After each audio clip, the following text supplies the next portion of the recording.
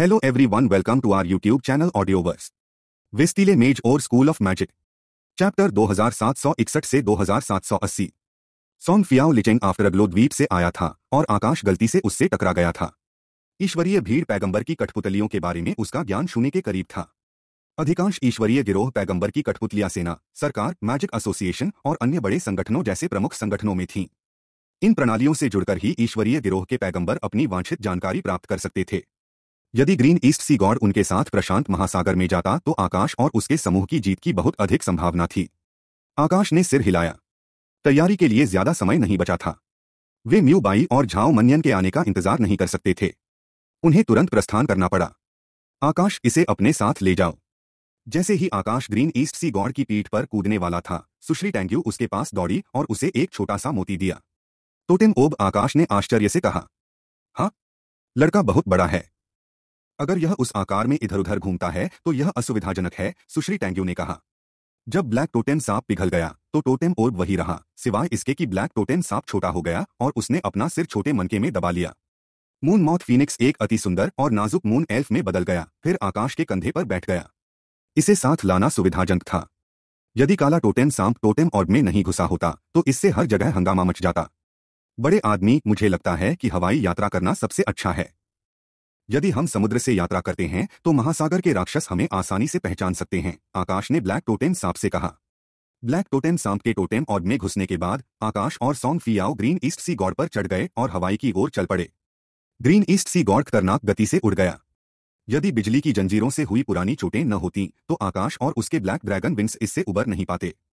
केवल अपनी सहन शक्ति के संदर्भ में, ग्रीन ईस्ट सी गॉड एक ही सांस में प्रशांत महासागर तक उड़ान भरने में सक्षम था। ग्रीन ईस्ट सी गॉड बहुत चतुर था।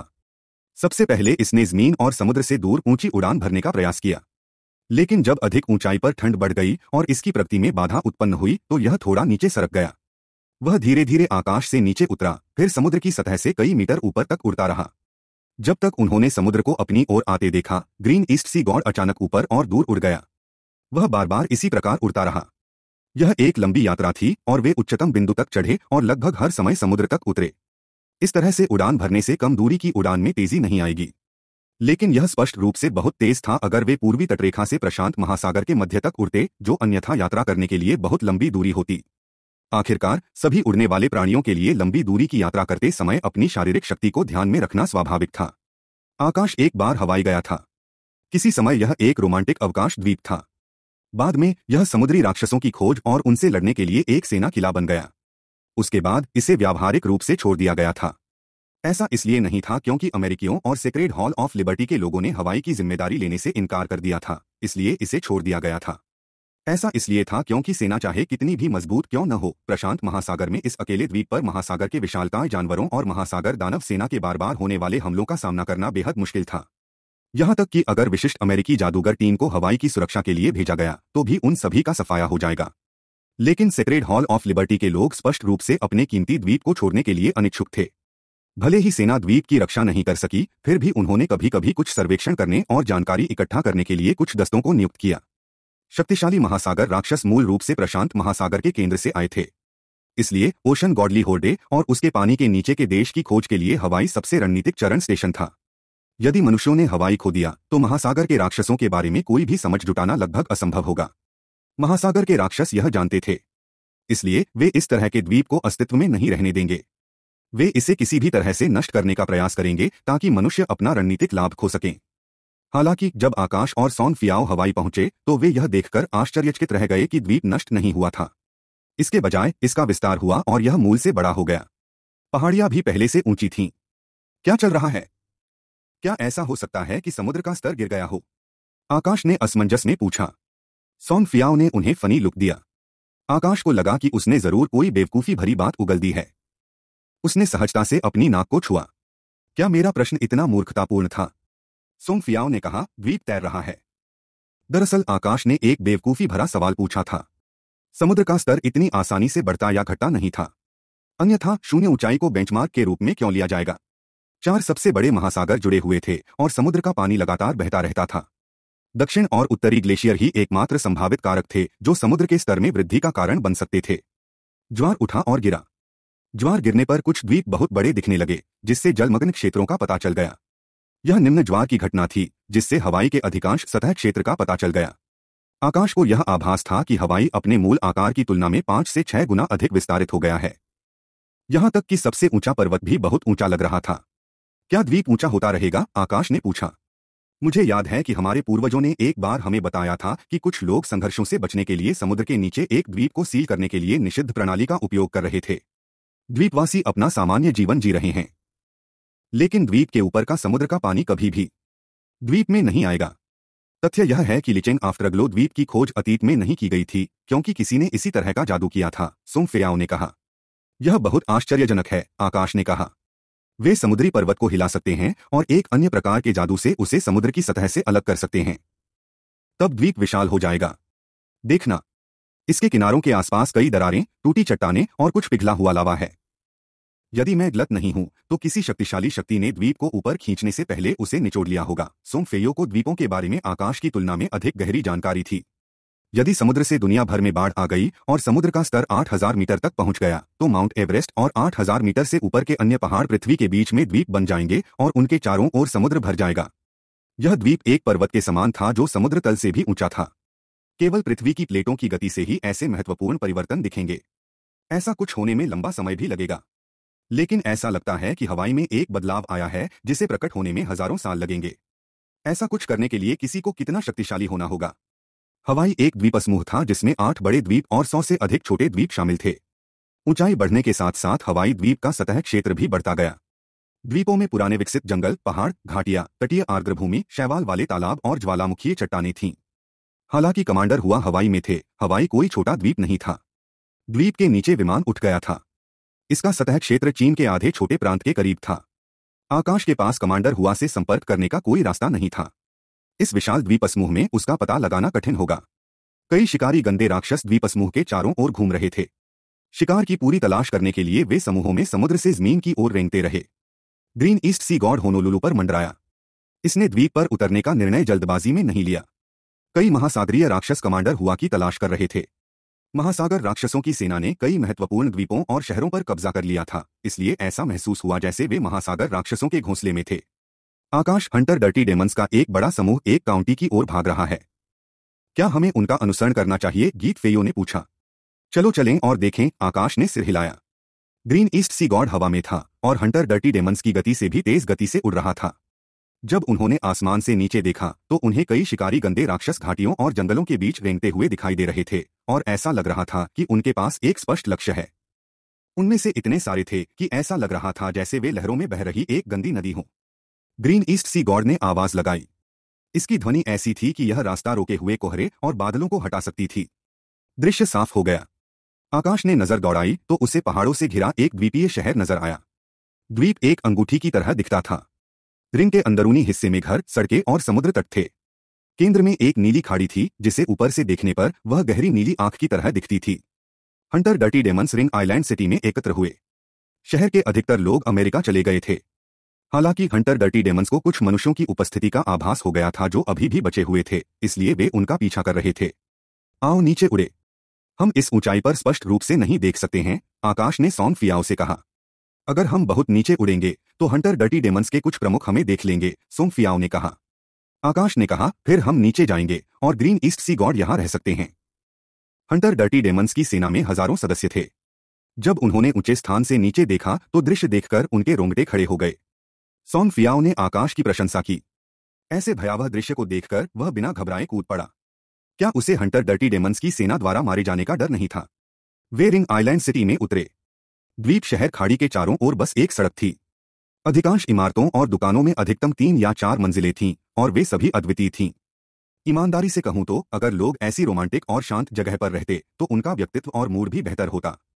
हालाँकि हंटर डर्टी डेमंस की बदसूरत उपस्थिति ने दृश्यों को बर्बाद कर दिया था। रिंग द्वीप के अधिकांश हिस्सों में हंटर डटी दानव रेंग रहे थे, जिसने चीज़ों को और भी भयावह बना दिया था। उनमें से बहुत सारे थे। अतीत में आकाश को अक्सर कुछ युद्ध के मैदानों पर अनगिनत दुश्मनों का सामना करना पड़ता था, लेकिन उसने कभी भी इतने सारे दुश्मनों का सामना नहीं किया था। उनमें से इतने सारे थे कि कुछ हंटर डर्टी डेमंस को आगे बढ़ने के लिए अपने साथियों की पीठ पर रेंगना पड़ा। हंटर डर्टी डेमंस की सेना द्वारा शहर को घेरने के बाद रिंग आइलैंड शहर खून के रंग की रेत की एक परत की तरह दिखने लगा जो हिलती रही। वे अमेरिकी हैं। क्या वे पवित्र हॉल ऑफ़ लिबर्टी से हैं? आकाश ने जल्द ही उन लोगों का पता लगा लिया जो फंसे हुए थे। वहाँ एक दर्जन से अधिक थे और उन सभी में उच्च स्तर की खेती थी। सड़क और शहर की मदद से उन्होंने क्रॉस वाइंड फॉर्मेशन का गठन किया। तेज हवा की एक परत ने इस क्रॉस वाइंड फॉर्मेशन में खड़े लोगों की रक्षा की। यह उन शिकारी गंदे राक्षसों को मिटा सकता है, जिन्होंने उन पर हमला किया था और इन राक्षसों को हवा में ही मार डाला था। ऐसा लगता है कि उन्हें वास्तव में मदद की ज़रूरत नहीं है। क्या वे पवित्र हॉल ऑफ़ लिबर्टी के अंतिम संरक्षक हैं, या वे अंतर्राष्ट्रीय बचावकर्ता हैं? आकाश ठीक से नहीं बता सका कि वे किस पक्ष के थे। ये लोग ताकतवर थे। खैर, अगर वे इन परिस्थितियों में हवाई में वापस रहने की हिम्मत करते हैं तो उन्हें ऐसा करना ही होगा। आकाश उन पर समय बर्बाद नहीं करना चाहता था क्योंकि वे ठीक कर रहे थे। उसने कमांडर हुआ को छोड़ने और उसकी तलाश जारी रखने का फैसला किया। हंटर डर्टी डेमंस के बीच कुछ हंटर डर्टी डेमन क्वींस ने आकाश की उपस्थिति को महसूस किया। उनकी नज़रें अजीब तरह से घूम रही थीं, आकाश को ढूँढने की कोशिश कर रही थीं, जो बादल की छाया में छिपा हुआ था। आकाश ने भौहें सिकोड़ ली। इन महासागर राक्षसों के पास शक्तिशाली इंद्रियाँ थीं। सौभाग्य से उसने कोई हरकत नहीं की। अन्यथा हंटर डर्टी डेमंस की सेना उसे जाने नहीं देगी। आकाश आकाश जल्दी ऊपर आओ फेयान ने उत्सुकता से आकाश से कहा। आकाश एक छाया पक्षी में बदल गया और काले बादलों की विशाल छाया के साथ आकाश में उड़ गया। ग्रीन ईस्ट सी गॉड ने थोड़ा नीचे उड़ान भरी। आकाश के उसकी पीठ पर चढ़ने के बाद उसने तेज़ी से अपने पंख फड़फड़ाए और ऊपर उठ गया। द्वीप की अंगूठी के आकार की नीली आँख से एक दहाड़ सुनाई दी। खाड़ी का सारा समुद्री पानी सूख गया और एक अथाह गड्ढे में बदल गया। पूरे शरीर पर अजीब गांठों से ढका एक स्क्विड टेंटेकल अथाह गड्ढे से बाहर आया। स्ट्रेंज लंप स्क्विड किंग ने आँख मूंद कर हमला किया और द्वीप शहर तुरंत बुलबुले में बदल गया। क्रॉस वाइंड फॉर्मेशन जिस पर सेक्रेड हॉल ऑफ़ लिबर्टी के जादूगरों को भरोसा था, वह भी हमले के कारण गायब हो गया। जो लोग कथित तौर पर सेक्रेड हॉल ऑफ़ लिबर्टी के सदस्य थे, वे स्क्विड किंग को तब भयभीत होकर देखने लगे जब उन्होंने उसके नुकीले सिर को अथाह गड्ढे से बाहर निकलते देखा। स्ट्रेंज लंप स्क्विड किंग फिर से दहाड़ा। इसके मुँह से जो चीज़ें निकली, वे चट्टाने, जहाज़ के टुकड़े और अनगिनत एसिड और स्क्विड जहर के साथ अन्य विशाल समुद्री राक्षसों की हड्डियाँ थीं। स्क्विड किंग ने यह सब पवित्र हॉल ऑफ़ लिबर्टी के सदस्यों पर डाला। अचानक वे चिल्ला रहे थे। विद्रूप जहर ने कई लोगों को तरल के घृणित तालाब में डाल दिया। जिनकी त्वचा पर केवल थोड़ा सा जहर था, वे पीड़ा में विलाप कर रहे थे। लोगों का यह समूह हंटर डटी डेमंस की घेराबंदी के तहत अपने सुरक्षा जादू के साथ ठीक काम कर रहा था, लेकिन स्ट्रेंज लंप स्विड किंग की उपस्थिति ने उन्हें असहाय बना दिया। आकाश ने आसमान से इस भयावह दृश्य को देखा। हवाई अभी बहुत खतरनाक था। महासागर राक्षस और शीर्ष शासक स्तर के राक्षस हर जगह थे। इसके पीछे का मास्टरमाइंड ब्लैक क्लॉ सम्राट वास्तव में चाहता था कि कमांडर हुआ हवाई में मर जाए। आकाश और सोंग फे याओ दोनों को लगातार डर था। लेकिन सौभाग्य से ग्रीन ईस्ट सी गॉड समय पर उड़ गया। वे ऐसी जगह गए जहाँ स्ट्रेंज लंप स्क्विड किंग हमला नहीं कर सकता था। स्ट्रेंज लंप स्क्विड किंग की दुष्ट आभा ने यह स्पष्ट कर दिया कि यह अपने दस किलोमीटर के दायरे में किसी भी इंसान को जीवित नहीं रहने देगा। चल दर इस राक्षस के साथ समय बर्बाद करने की कोई ज़रूरत नहीं है, आकाश ने जल्दी से ग्रीन ईस्ट सी गॉड से कहा। स्ट्रेंज लंप स्क्विड किंग अपना नुकीला सिर उठाता रहा और उसकी पूरी तरह से उभरी हुई आँखें आकाश में ग्रीन ईस्ट सी गॉड को देखती रहीं। ऐसा लग रहा था जैसे आकाश और सॉन फियाओ की मौजूदगी का एहसास हो रहा हो। अचानक स्ट्रेंज लंप स्क्विड किंग ने अपना मुँह खोला, जो एक विशाल गुफा में एक छोटी सी दरार जैसा लग रहा था। आकाश और सॉन फियाओ ने सोचा कि यह ग्रीन ईस्ट सी गॉड की ओर घातक जहर छिड़केगा, लेकिन इसने केवल कुछ सफ़ेद हड्डियाँ ही उगली। इन हड्डियों ने ग्रीन ईस्ट सी गॉड को कोई नुकसान नहीं पहुँचाया, लेकिन कार्रवाई अवमानना और उकसावे से भरी थी। वे हड्डियाँ सेक्रेड हॉल ऑफ़ लिबर्टी के जादूगरों की थीं, जिन्हें स्ट्रेंज लंप स्क्विड किंग ने अभी अभी निगल लिया था। Strange Lump Squid King Green East Sea God का मज़ाक उड़ा रहा था और आकाश और सौन फियाओ की ओर हड्डियाँ उगलकर उन्हें उकसा रहा था। ग्रीन ईस्ट सी गौड़ का स्वभाव अवश्य था। स्ट्रेंज लंप स्क्विड किंग समुद्र में बस एक स्क्विड था, जो केवल समुद्र के तल पर जाने का साहस करता था। और फिर भी उसने ऐसा व्यवहार किया जैसे वह ज़मीन पर बहुत ही दुर्जय हो और उसने समुद्र के ऊपर उड़ रहे गरुड़ राजा को नीचा दिखाया। धत तेरी की। यदि यह मिशन अत्यावश्यक नहीं होता तो मैं वहाँ कूद पड़ता और इसे मार डालता।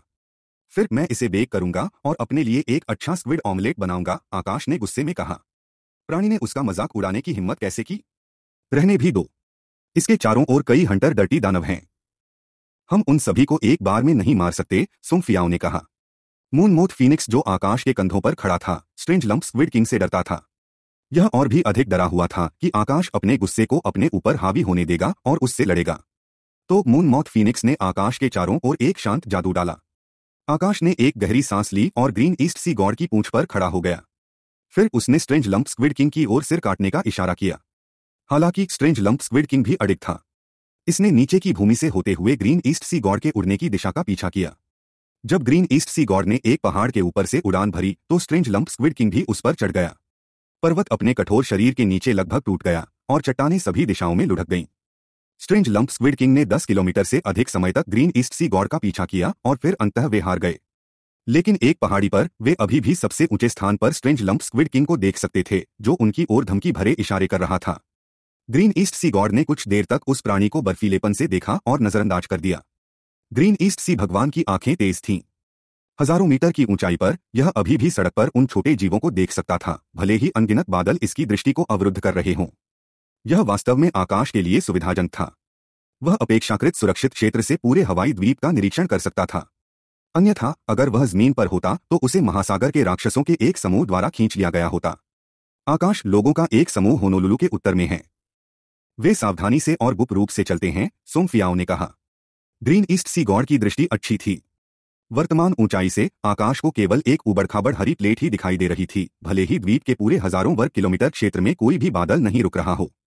यहाँ तक कि विशाल पर्वत श्रृंखला भी उसकी आँखों में अस्पष्ट सिलवटों जैसी प्रतीत होती थी। आइए उनसे संपर्क करें। हो सकता है वो लोग भी हमारी तरह किसी बचाव अभियान पर आए हों। मुझे आश्चर्य है कि क्या उनके पास कमांडर हुआ के बारे में कोई खबर है, आकाश ने कहा। नीचे उड़ते उड़ते आकाश ज़मीन के जितना करीब आया, उसे उतना ही झटका लगा। महासागर राक्षसों के एक समूह ने होनोलुलु पर कब्जा कर लिया था। नीले बालों वाले समुद्री दानव को अजीब मूँगा छड़ी पकड़े हुए देखना आम बात थी। इसके पूरे शरीर पर चांदी के तराजू लगे हुए थे। दूर से देखने पर वह चांदी के चमड़े के कोट और लहराते नीले बालों वाली एक पतली महिला की तरह लग रही थी।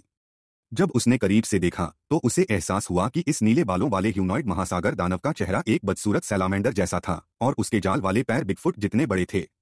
ये नीले बालों वाली महिला दानवे अक्सर गहरे समुद्र में रहने वाली छिपकली ड्रैगन दानव पर सवार होती थीं, जो मूँगा छड़ी पकड़कर ज़मीन पर सरपट दौड़ सकती थी।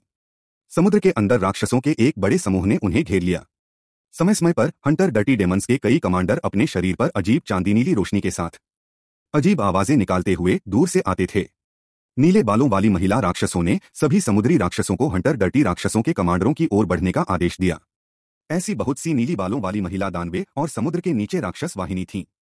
वे होनोलुलु के आसपास थे और उन्होंने इस हवाई शहर को एक महत्वपूर्ण खोजी लक्ष्य माना। वे जहाँ भी गुजरे, वहाँ विनाश हो गया और अपने पीछे गंदगी छोड़ गए। ग्रीन ईस्ट सी गॉड द्वारा खोजे गए लोगों का समूह इन नीले बालों वाली महिला राक्षसों से बचता हुआ प्रतीत होता है। उन्होंने होनोलुलु के उत्तर में एक घाटी के साथ जंगलों में गहराई तक पीछे हटने की योजना बनाई। आकाश को एहसास हुआ कि मानव समूह चाहे कितना भी शक्तिशाली क्यों न हो, हवाई में प्रवेश करने के बाद उन्हें कम प्रोफ़ाइल रखना होगा। वे बहुत शांत और सावधान थे। हवाई में महासागर राक्षसों की सेना की संख्या किसी की भी अपेक्षा से अधिक थी। यह ऐसा था मानो महासागरीय राक्षसों ने इसे अपना घर बना लिया है। सौभाग्य से झांग शियाओ ने वो सागर तक जाने वाली अंडरवाटर अंडरग्राउंड नदी सुरंग को नष्ट कर दिया था। अन्यथा, समुद्री राक्षसों की सेना लगातार अंडरवाटर अंडरग्राउंड रिवर टनल से चीन के बो सागर में प्रवेश करेगी। आकाश ने सोचा, शायद हम भूमिगत नदी सुरंग के माध्यम से बच सकते हैं और ज़रूरत पड़ने पर वो सागर में लौट सकते हैं। जब झांग शियाओ ड्रैगन किंग चींटी की तलाश कर रहा था तो उसने गलती से अंडरवाटर अंडरग्राउंड नदी की खोज की जो प्रशांत महासागर के मध्य तक ले जा सकती थी। चांदी की खदानों द्वारा भूमिगत नदी को नष्ट करने के बाद बड़े महासागरीय दानव भूमिगत नदी से नहीं गुजर सकते थे, लेकिन मनुष्य इस अंतराल से गुजरने में सक्षम हो सकते हैं। इसके अलावा, आकाश एक अंतरिक्ष तत्व जादूगर था। जब तक वहाँ कुछ दरारी थीं जहाँ भूमिगत नदी ढह गई थी, आकाश इन स्थानों में कूदकर लोगों को दूसरे छोर तक टेलीपोर्ट कर सकता था। आकाश ने झांग जियाहो को यह उल्लेख करते हुए सुना था कि कुछ महासागरीय राक्षस अभी भी भूमिगत नदी सुरंग से बाहर निकल रहे थे। हालाँकि उनमें से बहुत सारे नहीं थे। और वे केवल छोटे महासागर राक्षस थे। अंडरवाटर अंडरग्राउंड रिवर टनल के ढह जाने के बाद ओशन गॉडली होर्डे ने वह मार्ग छोड़ दिया था। चलो जल्दी करें और कमांडर हुआ को ढूंढें, आकाश ने कहा। आकाश घाटी के पास पहुँचा। सोन फियाओ और ग्रीन ईस्ट सी गॉड हवा में रहे। वह नहीं चाहता था कि ज़मीन पर समुद्री राक्षसों द्वारा उसे निशाना बनाया जाए, लेकिन उसने सोचा कि यह व्यवस्था सबसे सुरक्षित है। फेयाओ और ग्रीन ईस्ट सी गॉड हवा से होनोलुलु के आसपास की स्थिति की जाँच कर सकते थे। समुद्री राक्षसों में से कई उड़ सकते थे। विशालकाय शार्क जानवर गर्म हवा के गुब्बारे की तरह लगातार गश्त कर रहे थे। कम ऊंचाई, विशेष रूप से पाँच हज़ार मीटर से नीचे, ग्रीन ईस्ट सी गॉड के लिए प्रश्न से बाहर थी। यह वह जगह थी जहाँ ग्रीन ईस्ट सी गॉड गश्त करता था। समय समय पर वे हवा में बहुत लंबी पूंछ वाले स्टिंगरे देख सकते थे। सबसे पहले आकाश ने सोचा कि होनोलुलु एक स्टिंगरे पतंग प्रतियोगिता आयोजित कर रहा है। हवा में स्टिंगरे पूरी तरह अव्यवस्थित थे। दृश्य लगभग शानदार था। घाटी में उतरने के बाद आकाश एक छाया पक्षी में बदल गया और उन लोगों के समूह के पास जाने वाला था जो चुपचाप चल रहे थे। अचानक बादलों के नीचे की किरणें उसकी ओर बढ़ी और उनकी आँखें, जो लाल प्रकाश उत्सर्जित कर रही थीं, उसकी दिशा में घूरने लगीं। क्या वे घाटी के लोगों के पीछे हैं? आकाश ने सोचा। नहीं। इसके बजाय उन्होंने मुझे ढूंढ लिया। आकाश चौंक गया। क्या ये स्टिंगरे छाया तत्व के छिपाव को देख सकते हैं? आकाश घाटी से दूर जाने लगा और स्टिंगरे उसके पीछे हो लिए। अचानक वह जंगल जहाँ आकाश था, धुंधला होने लगा। स्टिंगरे ने रोशनी को अवरुद्ध कर दिया था। वे वास्तव में समुद्री राक्षसों का एक समूह थे, जिनका उपयोग निषिद्ध जादूगरों को खोजने के लिए किया गया था। वे सभी गुप्त तरीकों के प्रति संवेदनशील थे। इसमें कोई आश्चर्य नहीं कि घाटी में लोगों का समूह इतना सावधान था। आकाश ने प्राचीन जादुई पोर्टल खोला और एक डार्क नाइट ग्रीन बीस्ट को बुलाया। कोई रास्ता सोचो और उन्हें भटकाने में मेरी मदद करो। डार्क नाइट ग्रीन बीस्ट एक रात्रि योगिनी प्राणी था जो हिरण की तरह दिखता था। इसके सींग एक स्वप्निल वृक्ष जैसे थे और काले बाल थे, और यह माइटी क्लिफ डेमन किंग के समान स्तर का एक योगिनी प्राणी था। आकाश को छाया तत्व के साथ संयोजन करने की आवश्यकता नहीं थी। उसने बस इसे प्राचीन जादू पोर्टल से बुलाया और इसे उन स्टिंग्रेस को विचलित करने दिया। वह प्राचीन जादू पोर्टल के माध्यम से डार्क नाइट ग्रीन बीस्ट को वापस बुला सकता था, इसलिए उसे चिंता करने की ज़रूरत नहीं थी, भले ही उन स्टिंगरे ने डार्क नाइट ग्रीन बीस्ट को घेर लिया हो। यह सुरक्षित रूप से थाउज़ेंड ट्राइब एल्फ टॉवर पर लौट सकता है। यह सम्मानित जानवर काफ़ी विश्वसनीय था। यह पहली बार सामने आया और घबराने का नाटक किया। फिर वह छाया में भाग गया और पेड़ों के माध्यम से दक्षिण की ओर भाग गया। वे स्टिंगरे गति के प्रति संवेदनशील थे। उन्होंने उस दिशा में पीछा किया जहाँ डार्क नाइट ग्रीन बीस्ट भाग गया था। आकाश जहाँ था वहीं रुक गया और हिलने की हिम्मत नहीं हुई। छाया तत्व अभी भी अपना स्थान बता सकता है। यदि वह स्थिर रहता तो शायद वह स्वयं को पूरी तरह छुपाने में सक्षम हो जाता। उच्च साधना वाला एक लाइट एलिमेंट मैच एक शैडो एलिमेंट उपयोगकर्ता का पता लगाने में सक्षम नहीं हो सकता है, जो अभी भी रुका हुआ है। आकाश बहुत धैर्यवान था। उसने तब तक इंतज़ार किया, जब तक कि सभी Stingray Dark Knight Green Beast का पीछा नहीं कर लेते। फिर उसने बहुत धीरे धीरे चलने की कोशिश की। मुझे इन महासागर राक्षसों को कम नहीं आंकना चाहिए। उनमें से अधिकांश जो यहाँ आए थे, वे ब्लैक लॉ सम्राट के अधीन कुलीन वर्ग के लोग हैं। आकाश ने राहत की सांस ली। घाटी में प्रवेश करने के बाद ही वह स्वतंत्र रूप से घूमता था। घाटी कवर प्रदान करेगी। डार्क नाइट ग्रीन बीस्ट ने अपना मिशन पूरा कर लिया था। आकाश ने प्राचीन जादुई पोर्टल खोला और उसे थाउज़ेंड ट्राइब एल्फ टॉवर की याद दिलाई। कौन है भाई? कौन आ रहा है? एक आवाज़ गूंजी। आकाश स्तब्ध रह गया। उन्होंने उसे कैसे खोजा था? क्या उसका छिपाव सचमुच इतना खराब था? आकाश ने छिपना छोड़ दिया और लोगों के समूह की ओर चल दिया। उसने एक पुराने परिचित को लंबी दाढ़ी और चेहरे पर पुरानी झुर्रियों के साथ देखा। हालाँकि वह अभी भी ऊर्जावान दिख रहे थे। आकाश, यह तुम हो। पैन लाई ने आश्चर्य से कहा। कितना सुखद आश्चर्य है, आकाश मुस्कुराया। अरे आकाश, बहुत दिन हो गए। जियांग यू भीड़ को चीरता हुआ उसके पास दौड़ा। उन्होंने आकाश को ज़ोर से गले लगाया। यहाँ उसे देखकर आकाश भी हैरान रह गया। हालाँकि यह इतना असामान्य नहीं था। Jiang Yu Pan Lai. का प्रत्यक्ष शिष्य था। यदि पैन लाई यहाँ थे तो उनका टीम में होना असामान्य नहीं था। आप यहाँ पर क्या कर रहे हैं? आकाश ने असमंजस में पूछा। हम यहाँ एक निषिद्ध जादूगर को बचाने के लिए आए हैं। वह फंस गया है। जियांग यू, एक प्रौढ़ महिला ने कठोरता से कहा। आकाश ने लगभग तीस साल की एक महिला को देखा। वह लंबी, पतली और सख्त चेहरे वाली थी। उसने लोगों को यह आभास दिया कि वह प्रभारी है। क्या संयोग है? मैं यहाँ एक निषिद्ध जादूगर को भी बचाने आया हूँ, आकाश ने मुस्कुराते हुए कहा। कठोर महिला आगे बढ़ी और जियान यू के सामने खड़ी हो गई। उसकी आँखें तेज थीं, क्या आपको लगता है कि हम विश्वास करेंगे कि बचाव दल में केवल एक ही व्यक्ति होता है? ये मई, यह आकाश है, वर्ल्ड कॉलेज टूर्नामेंट का विजेता। वह एक भरोसेमंद व्यक्ति है, इसलिए आपको इतना घबराने की ज़रूरत नहीं है, पैन लाई ने कहा। बचाव युवा लोगों के लिए कोई खेल या परीक्षण नहीं है। स्टिंगरे सेना अभी हमारी ओर झुक रही थी। जब वह घाटी में दाखिल हुआ तो शायद उन्होंने ध्यान दिया। हम ये मई अभी भी आकाश से सावधान थी। ठीक है, मैं वादा करता हूँ कि अब कोई समस्या नहीं होगी। आकाश, तुम यहाँ क्यों हो? पैंग लाई, अभी भी आकाश के प्रति बहुत सौम्य और मिलनसार थी। यह बिल्कुल पहले की बात है, जब वह उनके छात्र हुआ करते थे। आकाश ने उत्तर दिया, ठीक है, मुझे एक महत्वपूर्ण और कठिन क्षण में एक मिशन मिला। मुझे खुशी है कि आप आए पैंग लाई ने आकाश को एक तरफ़ खींच लिया। उसने अपनी आवाज़ धीमी कर ली, यह मामला अत्यावश्यक है। हमारे देश के निषिद्ध जादूगरों को प्रमुख आधार शहरों में निगरानी करनी होती है, इसलिए उन्हें स्थानांतरित करना मुश्किल है। मुझे लगा कि इस बार उम्मीद कम है, लेकिन मैं तुम्हारे अस्तित्व के बारे में भूल गया। आप राक्षस बनने के बारे में क्या सोचते हैं? आकाश ने कड़वी मुस्कान के साथ उत्तर दिया, ओल्ड पैंग सच कहूँ तो मेरा एसेंस और अब लगभग खाली है, और मैं अभी तक पिछली बार के सीक्वेल से उबर नहीं पाया हूँ। यह कोई आश्चर्य की बात नहीं थी कि जब पैन लाई ने आकाश को देखा तो वह इतना उत्साहित हो गया। यह पता चला कि वह उम्मीद कर रहा था कि आकाश एक राक्षस में बदल सकता है।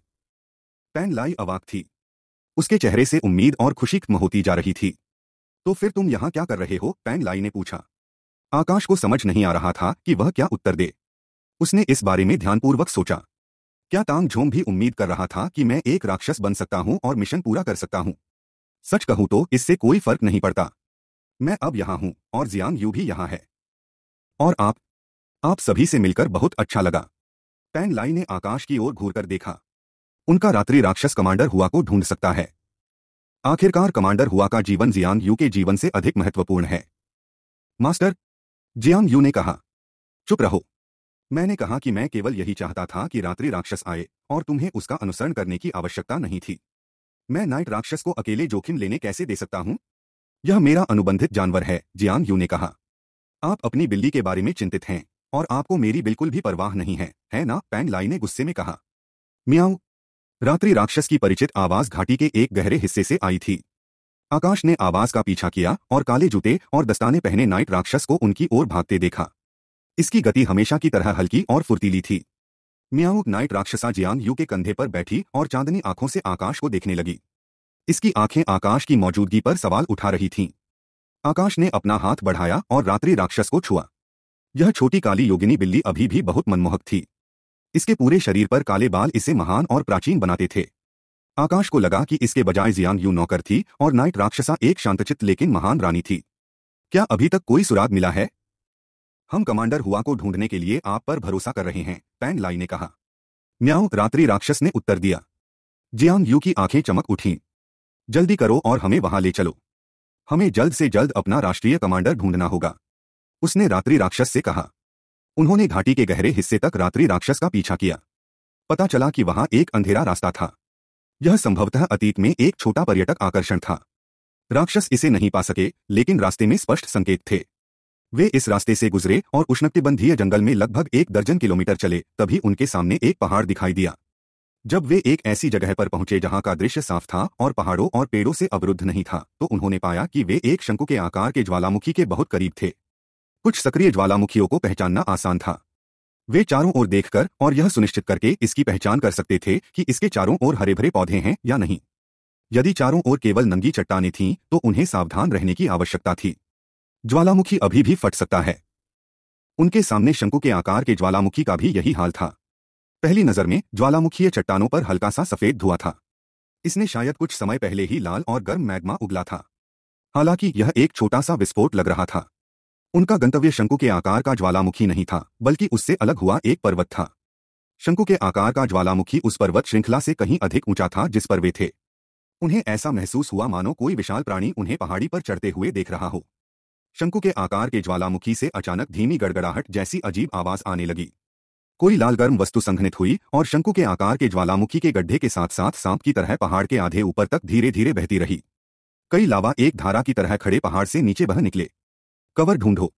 अंदर कुछ है। पैन लाई की अभिव्यक्ति अचानक बदल गई। हर कोई पहाड़ी से नीचे उतरा और शंकु के आकार के ज्वालामुखी की ओर पीठ करके एक जगह पर छिप गया। शंकु के आकार के ज्वालामुखी से अचानक अनगिनत आग के गोले फूट पड़े। जब आग के गोले गड्ढे में थे तो वे मोमबत्ती की आग की तरह लग रहे थे। हालाँकि जब यह हवा में लुढ़क गया और पहाड़ी पर गिरा, जहाँ आकाश और अन्य लोग थे तो उन्होंने पाया कि आग के गोले एक घर जितने बड़े थे। आग के गोले रिज की सतह पर गड्ढे और दरारें बना सकते हैं। ऐसे बहुत सारे आग के गोले थे, जो शंकु के आकार के ज्वालामुखी की विभिन्न दिशाओं से उड़ रहे थे। कई सिर गड्ढे से ऊपर उठे और उनकी लंबी गर्दनें आग की लपटों में हिल गईं। वे विशाल और भयानक थे। आकाश ने उस पर नज़र डाली। हालाँकि यह दर्जनों किलोमीटर दूर था, आकाश चिंता में गहरी सांस लेने से खुद को नहीं रोक सका। वे सिर ज्वालामुखीय सांपों के थे, जिनके पूरे शरीर पर पिघली हुई आग की शलके थीं, और उनमें से बहुत सारे थे। कुछ सांपों के सिर हवा में थे, कुछ आधे पहाड़ पर लटके हुए थे, और कुछ आगे पीछे झूल रहे थे। शंकु के आकार के गड्ढे से निकले हुए सभी सांप के सिर थे। सांपों का केवल एक छोटा सा हिस्सा ही सामने आया। उनके लंबे शरीर अभी भी ज्वालामुखी में छिपे हुए थे। ऐसा लगता है कि कुल मिलाकर पाँच सांप हैं।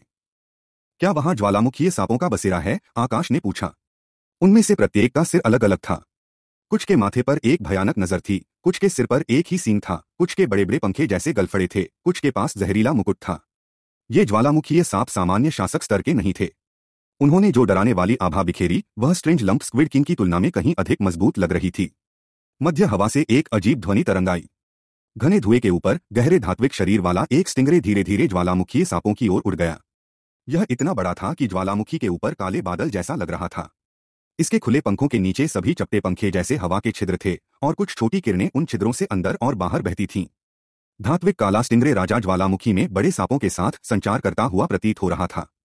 थोड़ी देर बाद धात्विक काला स्टिंगरे राजा फिर से उड़ गया और ज्वालामुखी में मौजूद पाँच बड़े सांप भी धीरे धीरे शंकु के आकार के ज्वालामुखी में लौट आए। आकाश ने भौहें सिकोड़ ली। स्टिंगरे राजा का स्तर ग्रीन ईस्ट सी गौड़ से कम नहीं होगा। सौभाग्य से वह हमेशा सावधान रहता था और ग्रीन ईस्ट सी गौड़ को आकाश में छोड़ देता था। यदि वे इस स्टिंगरे राजा से टकरा गए तो बचना मुश्किल हो जाएगा। वे सभी उच्च कोटि के प्राणी थे। हवाई महासागरीय राक्षसों का अड्डा बनने वाला था। ब्लैक क्लॉ सम्राट ने कमांडर हुआ से छुटकारा पाने के लिए बहुत कुछ किया था। सावधान रहने वाली सबसे महत्वपूर्ण चीज़ आसमान में मौजूद वह चीज़ है। इसमें मज़बूत पहचान क्षमताएँ हैं, और इसकी ताकत ज़बरदस्त है, पैन लाई ने सभी से कहा। यहाँ तक कि छोटे स्टिंगरे भी आकाश की छाया क्षमता का पता लगा सकते थे, इसलिए स्टिंगरे राजा भी निस्संदेह ऐसा कर सकता था।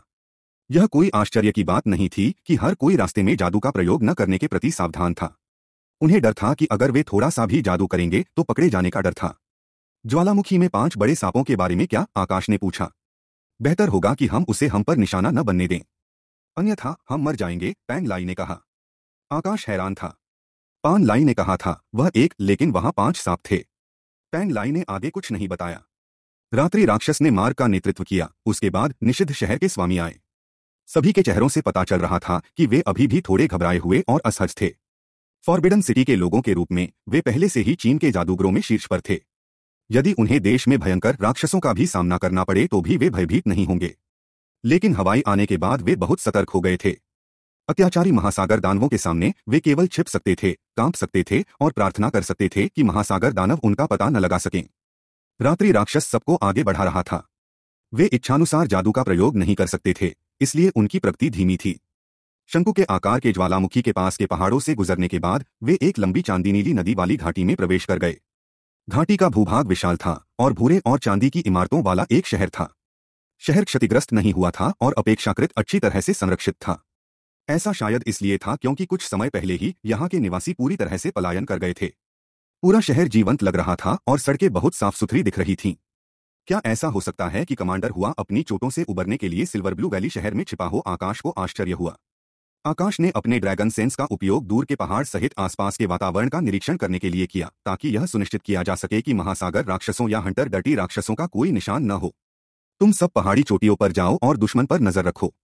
यदि महासागर राक्षसों के बारे में कोई खबर है तो आपको तुरंत हमें एक संकेत भेजना होगा। समझना, पैन लाई ने कई शाही जादूगरों को निर्देश दिया। ये सभी शाही जादूगर मध्यम आयु वर्ग के थे।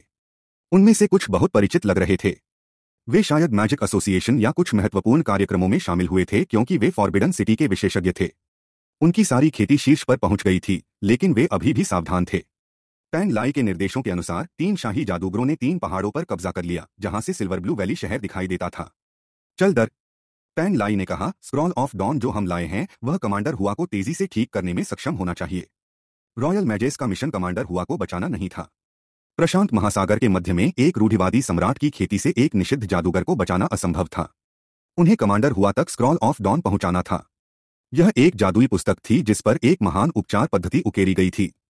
इस पर निषिद्ध भाषा को पढ़कर वे उनमें से किसी एक पर शुद्ध महान उपचार जादू लागू कर सकते थे। यहाँ तक कि एक निषिद्ध जादूगर भी थोड़े समय में जीवन कार्यों मानसिक स्थिति को बहाल कर सकता है और क्षतिग्रस्त आत्माओं की मरम्मत कर सकता है। रात राक्षस, क्या तुम्हें यकीन है कि कमांडर हुआ यहाँ है? ये मैं कुछ सशंकित थी। रात्रि राक्षस सड़क पर दौड़ रहा था। यह तभी रुका जब यह केंद्र में हेक्सागोन फाउंटेन स्क्वायर पर पहुँचा। फाउंटेन स्क्वायर के चारों ओर ऊँची इमारतें थीं। फाउंटेन स्क्वायर का फर्श सपाट टाइलों का नहीं, बल्कि पारदर्शी अर्धनीले टेम्पर्ड ग्लास के अनगिनत टुकड़ों का था। जब उन्होंने कांच के फर्श को देखा तो उन्होंने देखा कि हेक्सागोनल फव्वारे में पानी एक सुंदर भंबर में बाहर की ओर बह रहा था। चौक के चारों ओर कई इमारतों में कांच की दीवारें थीं, जिससे पूरा हेक्सागोन फाउंटेन स्क्वायर बहुत आधुनिक और कलात्मक दिखता था। यह सिल्वर ब्लू वैली सिटी का प्रतीक हो सकता है। रात्रि राक्षस ने षटकोणीय फव्वारे के साथ कुछ चक्कर लगाए। थोड़ी देर बाद उसने फव्वारे के साफ़ पानी से एक सैन्य दस्ताना उठाया। दस्ताना बहुत पतला था और उस पर खून लगा हुआ था। यह अज्ञात था कि वह इस फव्वारे में कितनी देर से भीग रहा था।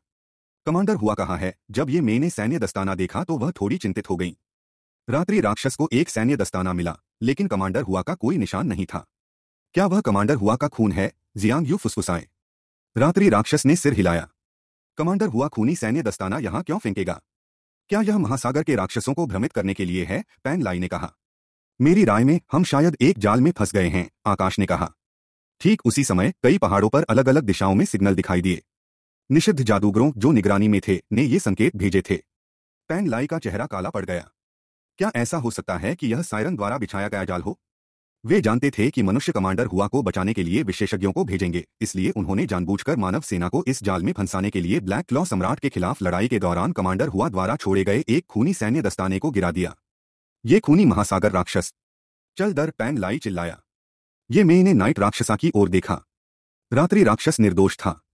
उसे कैसे पता चला कि यह एक जाल था? इसने केवल गंध का अनुसरण किया था। रात राक्षस जियांग यू ने नाइट राक्षसा को गले लगाया। उसने उसके छोटे से सिर को छुआ और उसे सांत्वना दी। कोई बात नहीं। मुझे विश्वास है कि आपको कमांडर हुआ मिलेगा। म्याऊ ऐसा लग रहा था जैसे वह जियांग यू को कुछ और बता रहा हो। जियांग यू ने ध्यान से सुना। फिर उसने इधर उधर खोजना शुरू किया। यह स्पष्ट नहीं था कि वह क्या ढूंढ रहा था। महान जादूगर जिन्हें पहाड़ों में दुश्मन पर नज़र रखने का काम सौंपा गया था, गंभीर चेहरों के साथ लौट आए। प्रमुख हम घिरे हुए हैं। पश्चिम में हंटर डर्टी डेमंस की एक सेना है। स्टिंगरे सेना दक्षिण से आ रही है। उत्तर में कुछ बड़े राक्षस हैं और वे आ रहे हैं। तीन महान जादूगरों ने सूचना दी। पैन लाई का चेहरा गंभीर हो गया। उन्होंने सिल्वर ब्लू वैली शहर के आसपास के इलाकों का अवलोकन किया। प्रमुख, आप किसका इंतज़ार कर रहे हैं? जल्दी करो और तुरंत हमला करने के लिए एक जगह चुनो, ये मैंने कहा। घबराए नहीं। जल्दबाजी करने और बेतरतीब ढंग से हमला करने के बजाय, यहाँ हेवनली बॉटल मैजिक फॉर्मेशन स्थापित करना बेहतर है। फिर हम भागने का मौका तलाश सकते हैं। क्या तुम तीनों ने वही किया जो मैंने तुम्हें पहले विशेष रूप से कहा था? पैन लाई ने तीन शाही महान जादूगरों से पूछा। तीनों शाही महान जादूगरों ने सिर हिलाया। महान पैन लाई का चेहरा थोड़ा नरम हो गया। ये मेई तुम जाकर नदी से थोड़ा पानी ले आओ। सुनिश्चित करें कि जल स्रोत बाधित न हो। चार दिशाओं के रक्षकों आप लोग तुरंत वैली सिटी के प्रवेश द्वार पर जाएँ, जो चौराहा बिंदु है। सुनिश्चित करें कि आप इसका बचाव करें। बाकी लोग शहर पर हमला करते हैं। आदेश देते समय पैन लाई दुर्जय दिखाई दी। वह तुरंत एक बूढ़े और सज्जन व्यक्ति से युद्ध में थके हुए अनुभवी व्यक्ति में बदल गया। उनके स्थिर आदेशों और अत्यंत तीव्र फोकस ने दूसरों को प्रेरित किया। आकाश ने पैन लाई को कभी इस तरह नहीं देखा था। अधिकांश समय पैन लाई बड़ी टोपी पहने एक बूढ़े, सौम्य प्रोफेसर थे। वह ज्ञान से परिपूर्ण था, लेकिन अब तक उसके पास कोई शक्ति नहीं थी। आकाश ने प्रमुख रॉयल ग्रेट मैच की प्रशंसा की थी। पैन लाई ने चौराहे की सड़क के बीच में खड़े होकर कुछ जादू किया।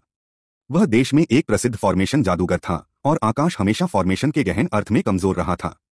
वह गठन के बारे में कुछ नहीं जानता था। स्वर्गीय बोतल जादू संरचना क्या है? आकाश ने अपने बगल में जियांग यू से पूछा। जियांग यू अनुपस्थित दिमाग वाला था। वह अभी भी इधर उधर देख रहा था। तुम क्या ढूंढ रहे हो? आकाश ने फिर पूछा। रात राक्षस ने कहा कि खूनी दस्ताना ही एकमात्र ऐसी चीज़ नहीं थी जिसकी गंधा रही थी। कुछ और होना चाहिए? जियांग यू ने उत्तर दिया। पहाड़ों से अजीब सी आवाज़ें आने लगीं। पहले तो वे इतने तेज नहीं थे, लेकिन आवाज़ अपने आप बढ़ती गई और तेज हो गई। शिकारी गंदे राक्षस पहाड़ की दिशा से आ रहे थे। समुद्री दानवों में हंटर डर्टी दानव एक विशेष प्रजाति थी। वे जितने छोटे थे, उतने ही अधिक दुष्ट प्रतीत होते थे। हंटर डर्टी डेमंस की विशाल सेना में, वे कुछ पतली और भयंकर परछाइयों को असंभव गति से चलते हुए देख सकते थे। वे केवल बड़े खंडों के बराबर थे, लेकिन उनसे निकलने वाली आभा भयावह थी। उन्होंने सिल्वर ब्लू वैली शहर को घेर लिया। और उनमें से कई घाटी की ऊंचाइयों और खड़ी ज़मीन से सीधे हमला करने के लिए पहले ही पीछे की ओर चक्कर लगा चुके थे। हंटर डर्टी डेमंस जैसे समुद्री दानवों के लिए यहाँ तक कि सबसे निचले स्तर के हंटर डर्टी डेमंस के पास सरदार स्तर के प्राणियों की ताकत थी। ऐसा इलाका उनके हमलों में बाधा नहीं डाल सकता था क्योंकि वे कीड़ों की तरह तेज पंजे के साथ खड़ी चट्टान की दीवारों पर चढ़ सकते थे। आकाश ने पीछे की ओर देखा और पाया कि Ice Claw Hunter Dirty Demons का एक समूह करीब आ रहा था। हालाँकि पैन लाई सहित सभी शाही जादूगरों को पीछे से आने वाले दुश्मनों की ज़्यादा परवाह नहीं थी, और वे सभी सिल्वर ब्लू वैली सिटी के संकीर्ण प्रवेश द्वार को देखते रहे। पीछे से आ रहे दुश्मनों के बारे में क्या आकाश ने पूछा? उन्हें नजरअंदाज करो। वे नहीं आ सकते, जियांग यू ने कहा। वे क्यों नहीं आ सके? आकाश को लगा कि Ice Claw Hunter Dirty Demons ने शहर की सड़कों पर कदम रख दिया है। गठन शुरू करो पैंग लाई चिल्लाया। तारों की धूल जैसी स्वप्निल और सुंदर रोशनी का एक बड़ा समूह अचानक तीन पहाड़ों से चमक उठा, जहाँ कुछ क्षण पहले जादूगर रहे थे। यदि उन्होंने बारीकी से देखा तो उन्हें प्रकाश में अंतर्निहित विभिन्न आकृतियों के अनगिनत शून्य क्रिस्टल मिल सकते थे। उनके किनारों और कोनों ने बहुत सारे रंगों को अपवर्तित कर दिया और इन दृश्यमान रोशनी ने सिल्वर ब्लू वैली शहर को पूरी तरह से ढक दिया। रोशनियाँ तेज थीं। वे पारदर्शी नहीं थे। वे लगातार ऊर्जा को अवशोषित कर रहे थे और धीरे धीरे ठोस चीनी मिट्टी के बर्तन में संघनित हो रहे थे। अधिक से अधिक शून्य क्रिस्टल थे।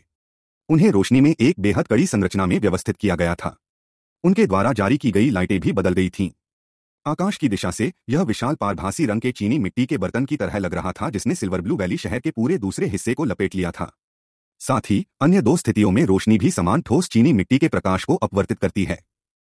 बनी हुई दो साइड लाइटें सिर्फ़ हाइपरबोलाइड्स थीं, जो कि असंबद्ध रूप से अंदर की ओर थीं। आखिरकार सिल्वर ब्लू वैली शहर के संकीर्ण प्रवेश द्वार पर एक विशाल सिरेमिक बोतल का मुँह बन गया। सोन फियाओ ने उत्सुकता से आसमान से ज़मीन पर स्थिति को देखा। उन्हें उनका समर्थन करने के लिए नीचे उतरने में बहुत देर हो चुकी थी। काले स्टिंगरे ने शहर पर एक भयानक बादल बना दिया, जिससे ग्रीन ईस्ट सी गौड़ के लिए नीचे उड़ना असंभव हो गया।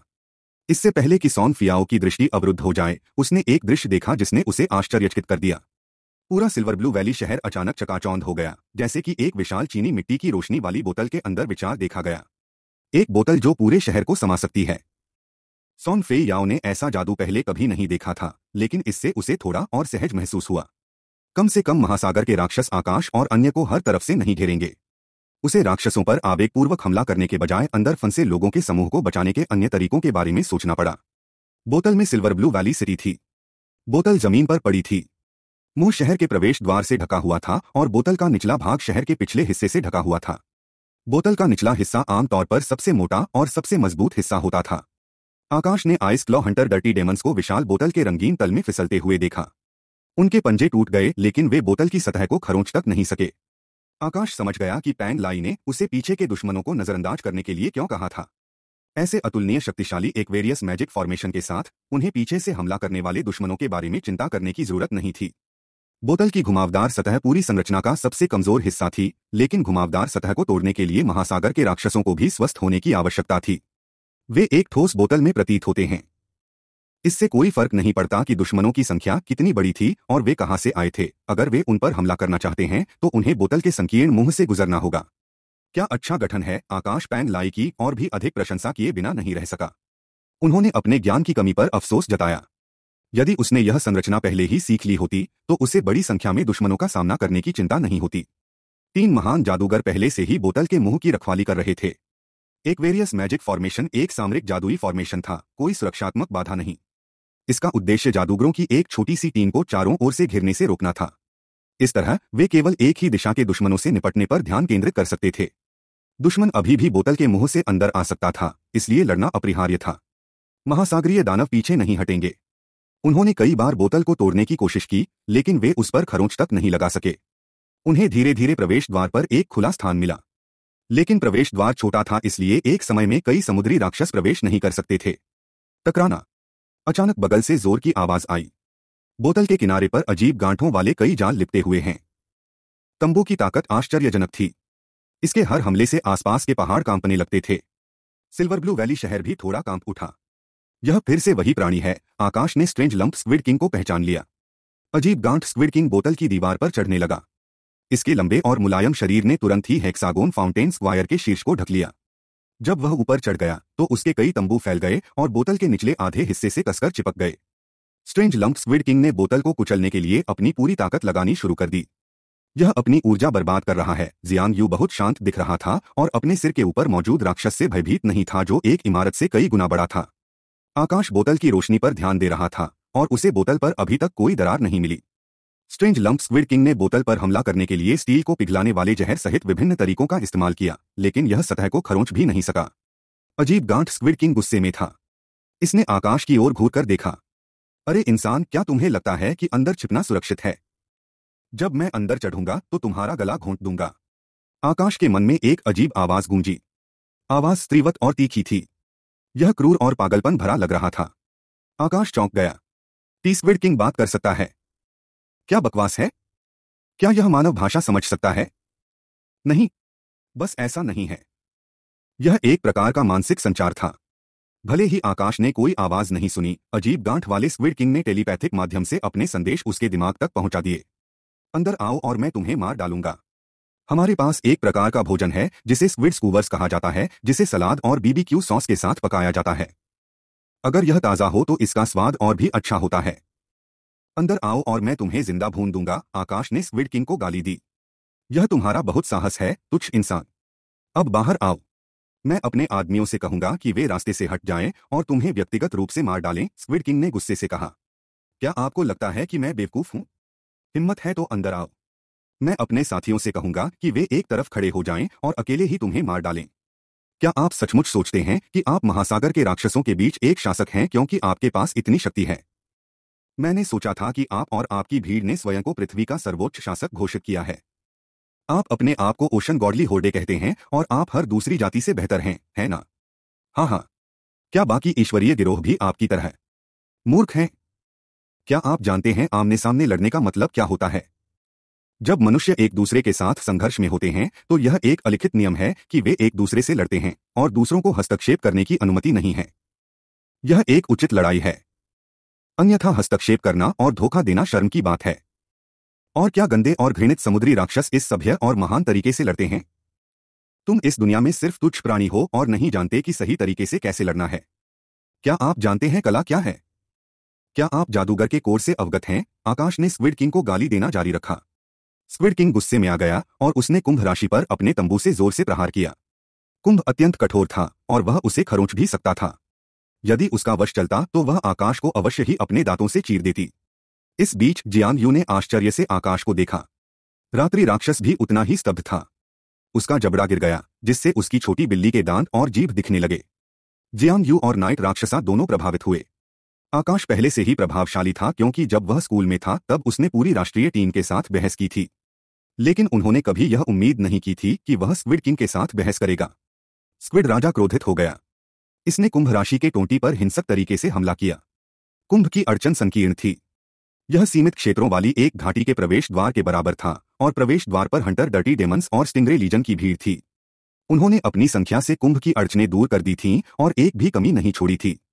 यह कहना अतिशुक्ति नहीं होगी कि महासागर के राक्षस प्रवेश द्वार पर एक पहाड़ में ढेर हो गए थे। स्क्विड किंग ने अपने जाल से हंटर डर्टी डेमंस और स्टिंगरे लीजन को हटा दिया। इसने अपने लिए मार्ग प्रशस्त करने के लिए अपने भयानक जालों से महासागर के राक्षसों को दूर फेंक दिया। उसके बाद यह रोश में टोंटी के माध्यम से कुंभ राशि में घुस गया। चूँकि Aquarius Blue River Silver Valley के पूरे हिस्से को अपने कब्जे में ले सकता था, इसलिए इसकी अड़चन वास्तव में बहुत संकीर्ण नहीं थी। जब स्क्विड किंग ने अड़चन के माध्यम से अपना रास्ता बनाया तो उसने तीन शाही महान जादूगरों को नजरअंदाज कर दिया और आकाश पर हमला कर दिया। सावधान रहें। यह एक अधिपति है, पैंग लाई चिल्लाया। आमतौर पर, ऐसे दुर्जय शत्रु को हराने के लिए जादूगर साथ साथ काम करते थे। चार संरक्षक जादूगर इससे लड़ने के लिए अच्छी तरह से तैयार थे। पैंग लाई के नेतृत्व में चार संरक्षक जादूगर उत्कृष्ट थे। वे सर्वोच्च स्तर के जादूगर थे, जिन्होंने चार तत्वों में अपनी साधना पूरी कर ली थी। इसलिए, वे शासक स्तर के महासागर राक्षसों में से सबसे मज़बूत का भी सामना कर सकते थे। हालाँकि स्क्विड किंग को किसी भी जादूगर में कोई दिलचस्पी नहीं थी। यह बस शहर के केंद्र की ओर चार्ज हुआ। इसे रोको। इसे हमारे पीछे मत पड़ने दो, चार संरक्षक जादूगरों में से एक ने कहा। नीले बालों वाली महिला दानव और गहरे समुद्र में छिपकली वाली ड्रैगन दानव सेना आ रही है। शासक स्तर के शिकारी गंदे दानव से सावधान रहें। वह लाल नीले सिर वाला। पैंग लाई ने भौहें चढ़ा दी। यह स्पष्ट था कि चार अभिभावक जादूगर एक साथ इतने सारे महासागर राक्षसों का सामना नहीं कर सकते थे। पैंग लाई को व्यक्तिगत रूप से स्क्विड किंग का सामना करना पड़ा। आकाश ने कहा, पुराना दर्द इसे मुझ पर छोड़ दो। यह मेरे लिए आ रहा है। आप ऐसे समय में भी मज़ाक क्यों कर रहे हैं? आप युवाओं को जब तक संभव हो भाग जाना चाहिए। ये मई की आवाज़ कुंभ राशि के नीचे से आई। आकाश उसकी ओर मुड़ा। तभी उसे एहसास हुआ कि वह महिला जादूगरनी नदी के झरने के पास खड़ी थी। नदी शहर के केंद्र से पहाड़ी घाटी से होकर समुद्र तक बहती थी। नीली चांदी की नदी वह धुरी थी जो शहर और कुंभ को जोड़ती थी। यह स्पष्ट था कि जादुई संरचना में नदी का प्रमुख स्थान था। ये मेई की ताकत पैंग लाई के बाद दूसरे स्थान पर थी। इसलिए वह अपना पद नहीं छोड़ सकती थी। ये मेई उस पर भरोसा करो। वह डींगे हाँकने वालों में से नहीं है पैंग लाई ने ये मेई से कहा। पैंग लाई यह एक बहुत ही शक्तिशाली शासक स्तर का दानव है, जिसे चार संरक्षक जादूगर भी सामना करने में सक्षम नहीं हो सकते हैं। फिर भी आप युवा जादूगर को इसे अकेले लेने की अनुमति देते हैं, क्या आप पागल हैं? हम उसे मरने नहीं दे सकते, ये मेई चिल्लाया। वह चिंतित थी। स्थिति गंभीर थी। आप अपने पद पर बने रहें और बाकी मुझ पर छोड़ दें पैंग लाई ने दृढ़ता से कहा। ये मेई नाराज़ थी। यदि ये मेरी मदद करने पर ज़ोर देती तो कुंभ राशि की ताकत काफ़ी कम हो जाती और उसके साथियों का जीवन खतरे में पड़ जाता। यहाँ तक कि कमांडर हुआ पर भी प्रतिकूल प्रभाव पड़ेगा। उसने उन भयानक चीज़ों की कल्पना करते हुए अपनी आँखें बंद कर लीं जो घटित होने वाली थीं। इस बीच Aakash Central Hexagonal Fountain Square पर स्क्वायर एवेन्यू का सामना कर रहा था। स्क्वायर एवेन्यू विशाल और शानदार था। सड़क के किनारे कई ऊँची इमारतें और मॉल थे। इमारतें अमेरिकी स्थापत्य शैली में बनाई गई थीं। हालाँकि, जब स्क्विड किंग ने यहाँ अपना रास्ता बनाया, सड़क के किनारे की इमारतें ढह गईं। वे ज़मीन पर गिर पड़े। सड़कों के किनारे की इमारतें ऐसी लग रही थीं जैसे उन्हें बम से उड़ा दिया गया हो। यह देखने में भयानक था। जियान यू पीला दिख रहा था। वह ऐसे राक्षस का सामना नहीं करना चाहता था। गधे का छेद। यदि यह सच नहीं होता कि समुद्र के नीचे कोई रोशनी नहीं है तो आप जैसे बदसूरत राक्षस को संतान पैदा करने के लिए कभी कोई साथी नहीं मिलेगा। वापस जाओ और समुद्री बंदर के साथ एक कमीने को तैयार करो। मैं तुम्हारा वध नहीं करना चाहता और तुम्हारी प्रजाति को विलुप्त होने की ओर नहीं ले जाना चाहता। हमें स्वादिष्ट स्क्विड व्यंजन खाना पसंद है। आकाश को प्राणी को उत्तेजित करते देख जियान यू लगभग बेहोश हो गया। यह आवेश में आ रहा है। क्या आप शाप देना बंद कर सकते हैं ताकि वह कम से कम आप पर कुछ दया करे? मैं तुम्हें मार दूँगा। मैं तुम्हें मार दूँगा। मैं तुम्हें मार दूँगा स्क्विड किंग क्रोधित था। इसने खिलौनों के ब्लॉकों की तरह इमारतों पर अपने तंबू पटक दिए। जैसे ही आकाश उसे उकसाता रहा, उसने धीरे धीरे अपनी कमर पर टोटेम ओर्ब की ओर हाथ बढ़ाया। टोटेम ओर्ब मंद रोशनी में चमक रहा था। भयानक कोहरे का एक टुकड़ा उसमें से फैल गया और धीरे धीरे फवारा चौक क्षेत्र को घेर लिया। स्क्विड किंग क्रोधित हो गया। कुंभ राशि के अंदर रहते हुए भी इसे अपने शत्रु का भय नहीं था। एक शक्तिशाली शासक स्तर के राक्षस को मारने के लिए मनुष्य बहुत कमज़ोर थे। कोहरा घना हो गया और कुंभ राशि का निचला हिस्सा मुश्किल से दिखाई दे रहा था। उन्होंने बमुश्किल कोहरे के बीच में एक विशाल और लंबी आकृति को प्रकट होते देखा। जियांग यू इसे देखने में सक्षम होने के लिए आगे बढ़ा। उसने एक ऊँची इमारत की कांच की दीवार पर सांप के शरीर का एक हिस्सा देखा। जब उसने पीछे मुड़कर देखा तो उसने देखा कि उसके पीछे इमारतों के बीच सांप का एक लंबा शरीर रेंग रहा था। यह सांप इतना विशाल कैसे हो सकता है? ब्लैक टोटेम सांप इसे नष्ट करो, आकाश ने व्यंग्य किया।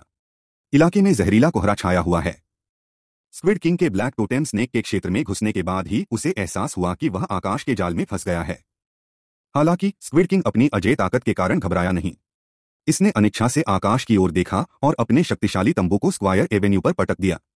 वह आकाश को टुकड़े टुकड़े कर देना चाहता था। इस बीच आकाश अपनी जगह पर स्थिर खड़ा रहा। काले टोटेम सांप ने हमला कर दिया। इसके तंबू आकाश तक पहुँचने से पहले इसने स्क्विड किंग के तंबू पर अपनी पूंछ घुमाई।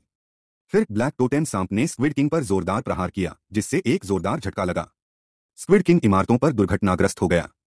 इमारतें धूल में बदल गईं। ब्लैक टोटेम स्नेक की ताकत स्क्विड किंग के बराबर थी। ब्लैक टोटेम सांप स्क्विड किंग से बड़ा था। ब्लैक टोटेम सांप इमारतों के बीच चला गया और स्क्विड किंग के पास पहुँचा। इसने खुद को स्क्विड किंग के चारों ओर लपेट लिया और निचोड़ लिया। स्क्विड किंग को अपने तंबू को हिलाने में कठिनाई हो रही थी। ब्लैक टोटेन सांप द्वारा अपनी पूंछ से पटक दिए जाने के बाद स्विड किंग को थोड़ा चक्कर आ गया था। यह समझने में थोड़ा समय लगा कि कोहरे के बीच में काला टोटेन सांप एक सर्वोच्च शासक था। ब्लैक टोटेन सांप ने हमले की सबसे आदिम विधि का उपयोग करने का निर्णय लिया, काटना। ब्लैक टोटेन सांप ने स्क्विड किंग के राक्षसी मांस के एक बड़े हिस्से को काट लिया। स्क्विड किंग की स्याही का नीला खून निकलकर इमारतों पर बिखर गया। जब खून इमारतों और फुटपाथों पर गिरा तो वे पिघलने लगे। स्क्विड किंग का खून ब्लैक टोटेम स्नेक की त्वचा पर लग गया। लेकिन इसके तराजू बहुत सख्त थे और किसी भी प्रकार के जहर के प्रति अभेद्य थे। वास्तव में ब्लैक टोटेम सांप का जहर स्क्विड किंग से अधिक घातक था। यही कारण है कि उसने राक्षसी जानवर को काटने का फैसला किया था। स्क्विड किंग ने संघर्ष किया। इसके टेंटेकल्स अक्सर लड़ाई में फ़ायदेमंद होते थे, क्योंकि दुश्मनों को आमतौर पर मल्टीपल टेंटेकल्स से लड़ना बहुत मुश्किल लगता था। हालाँकि ब्लैक टोटेम सांप ने उसके सिर, शरीर और तंबू को अपने सांप के जादू से बाँध दिया था। स्क्विड किंग खुद को ब्लैक टोटेम सांप से मुक्त नहीं करा सका। विशैली सर्प गैस हवा में व्याप्त हो गई। यदि स्क्विड किंग बहुत लंबे समय तक जहरीली गैस से भरे ब्लैक टोटेम स्नेक के क्षेत्र में फंसा रहता तो स्क्विड किंग कठोर हो जाता और परिगलन से मर जाता। बहुत अच्छा। बड़े आदमी, इसे सांस लेने का मौका मत दो। उसे मार, आकाश ने कहा। आकाश की आवाज़ सुनकर स्क्विड किंग और अधिक क्रोधित हो गया। यह घृणित और बेशर्म इंसान के जाल में फंस गया था। एकल युद्ध, सभ्य लड़ाई और जादूगर की संहिता सब बकवास थी। काला टोटेन सांप सिकुड़ता रहा। स्क्विड किंग को इतनी ज़ोर से दबाया गया कि उसकी कुछ रक्त वाहिकाएँ फटने लगीं। स्क्विड किंग के गांठ कांटों से सावधान रहें जियान यू ने उन्हें चेतावनी दी। स्क्विड किंग अजीब गांठों से ढका हुआ था। ब्लैक टोटेम स्नेक के सिकुड़ने से गांठें फट गई, जिससे छोटे छोटे जहरीले कांटे दिखने लगे। जैसे ही गांठें फूटीं, स्क्विड किंग छोटा हो गया और उसने अपने जालों से ब्लैक टोटेम सांप पर हमला कर दिया। शासक स्तर के महासागर राक्षसों में स्क्विड किंग सबसे शक्तिशाली था। इसे मारना कोई आसान काम नहीं था। स्क्विड किंग सिकुड़ गया और उसके गांठदार कांटे तेज़ी से बढ़ गए। वह जल्द ही कांटों से ढके समुद्री अर्चिन में बदल गया। संकट के समय अपनी रक्षा के लिए एक कोमल शरीर वाले प्राणी को समुद्री अर्चिन में बदलने की कल्पना करना कठिन था। शायद स्क्विड किंग और उसकी प्रजाति अक्सर अन्य विशाल समुद्री जीवों का शिकार होती थी। वे विकसित हो गए थे और खुद को सिकोड़ने, उसकी गांठों को फोड़ने और कांटों को उगाने के लिए अनुकूलित हो गए थे। आमतौर पर ब्लैक टोटेम सांप के तराजू अविनाशी होते थे। हालाँकि स्क्विड किंग्स लंप थॉर्न विचित्र थे। अंतिम बिंदु इतने तेज थे कि यह किसी भी कठोर वस्तु को आसानी से छेद सकता था। ब्लैक टोटेम सांप कोई अपवाद नहीं था। इसने स्क्विड सी अर्चिन राक्षस को निचोड़ना बंद कर दिया। ब्लैक टोटेम सांप ने अपने लंबे शरीर को ढीला करना शुरू कर दिया और स्क्विड सी अर्चिन मॉन्स्टर ने मौके का फ़ायदा उठाकर खुद को इससे मुक्त कर लिया। स्क्विड किंग तेज़ी से गैप से बाहर निकल गया। इसके कठोर गांठदार कांटे नरम हो गए और अंतराल से फिसल गए। सड़कें इसके अवशेषों से भर गईं। मुलायम वस्तु का एक गोला हिल रहा था। ऐसा लग रहा था जैसे कोई चबाया हुआ बबल गम फर्श पर लुढ़क रहा हो। उसका रंग विचित्र था और शरीर विशाल था। विकृत स्क्विड किंग का पीछा करने के लिए ब्लैक टोटेम सांप इमारतों पर घूमता रहा। जब भी ब्लैक टोटेम स्नेक ने हमला किया, स्क्विड किंग पूरी तरह से सशस्त्र हो गया और उसके नरम गांठ कांटों को सख्त कर दिया। इससे कोई फ़र्क नहीं पड़ता कि ब्लैक टोटेम सांप ने उस पर क्या थूका। स्क्विड किंग उसके जहर से प्रतिरक्षित था। स्क्विड किंग भागना चाहता था। उसे पता था कि उसका ब्लैक टोटेम स्नेक से कोई मुकाबला नहीं है। यह बहुत लापरवाह था और घृणित मानव के जाल में फंस गया था। आकाश ने स्क्विड किंग का पीछा किया। उसने कई शक्तिशाली जादुई शक्तियों से उस पर हमला किया। हालाँकि, स्क्विड किंग अपनी अधिकांश शक्ति से प्रतिरक्षित था। एक पल के लिए, आकाश और ब्लैक टोटेम सांप को समझ नहीं आया कि इसे कैसे हराया जाए। यदि उन्होंने इसे भागने दिया तो स्क्विड किंग वापस आएगा और उन्हें मार डालेगा। तब तक, स्क्विड किंग अपनी महासागर दानव सेना को सुदृढ़ीकरण के रूप में लाएगा और उसकी सेना उन पर हावी हो जाएगी। इसे मारना बहुत मुश्किल हो जाएगा। आकाश तुम स्क्विड किंग को छड़ी से नहीं मार सकते। तुम्हें इसे काटना होगा। जियांग यू ने उसे चेतावनी दी। मेरे पास इसे काटने के लिए बड़ा ब्लेड नहीं है, आकाश ने कहा। स्लैशिंग प्रकार की जादुई शक्ति का उपयोग करें। आप क्या उसके मौलिक जादुई मंत्र दे सकते हैं, है ना? क्या उस स्लैशिंग ब्लेड का उपयोग करें? जियांग यू ने सुझाव दिया। लेकिन अराजकता तत्व के लिए मेरी खेती का स्तर बहुत कम है। मुझे नहीं लगता कि मैं स्विड किंग को मार सकता हूँ, आकाश ने थोड़ी शर्मिंदगी के साथ कहा। तब जियांग यू के बोलने से पहले, शहर के बाहर हाड़ कंपा देने वाली रोशनी चमक उठी। रोशनी सामान्य तेज काटने वाली जादुई शक्ति से कहीं ज़्यादा तेज थी। यह टाइटन की स्वर्गीय तलवार की तरह थी। तलवार की सतह इतनी पतली थी कि वह एक ही झटके में किसी भी चीज़ को विभाजित कर सकती थी।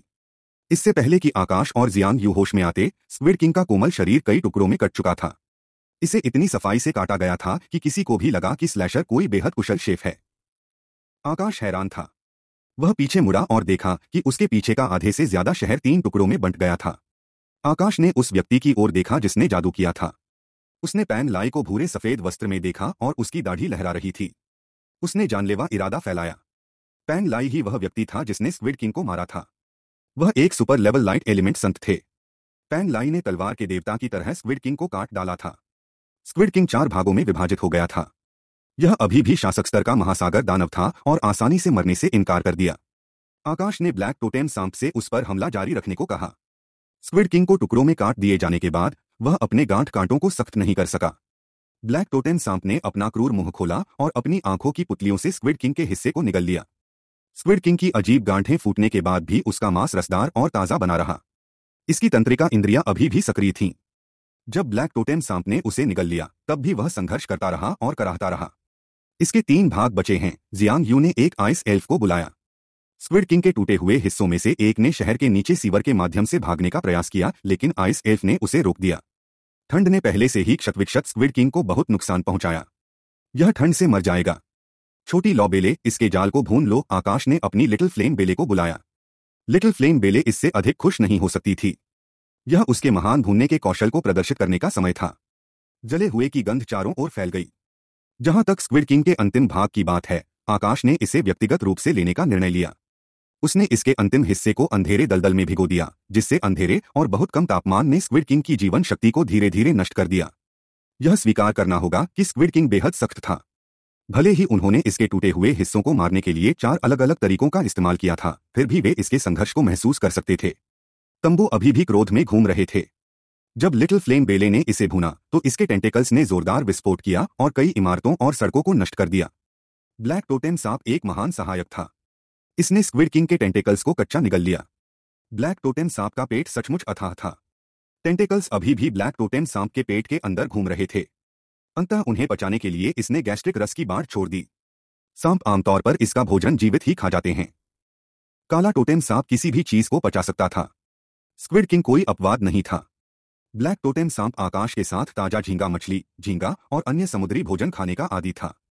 यह अपने खाने में बेहद नखरेबाज था।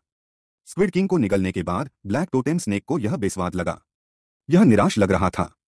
आकाश स्क्विड किंग को भूनकर भी नहीं खा सकता था, क्योंकि वह जीव जहरीला था। लेकिन ब्लैक टोटेम स्नेक को ऐसी कोई चिंता नहीं थी। कोई भी जहर इसका कुछ नहीं बिगाड़ सकता। यहाँ अभी भी स्क्विड किंगोवर का एक बड़ा टुकड़ा है। क्या आप इसे अपने ब्लैक टोटेन सांप के लिए बचाना चाहते हैं? जियांग यू ने पूछा। ब्लैक टोटेन स्नेक हैंग झो का संरक्षक था। जियांग यू ने इसे पहली बार देखा था। इससे कोई फ़र्क नहीं पड़ता कि उसने इसे तस्वीरों या वीडियो में कितनी बार देखा था। आखिरकार इसे अपनी आँखों के सामने देखकर वह आश्चर्यचकित रह गया।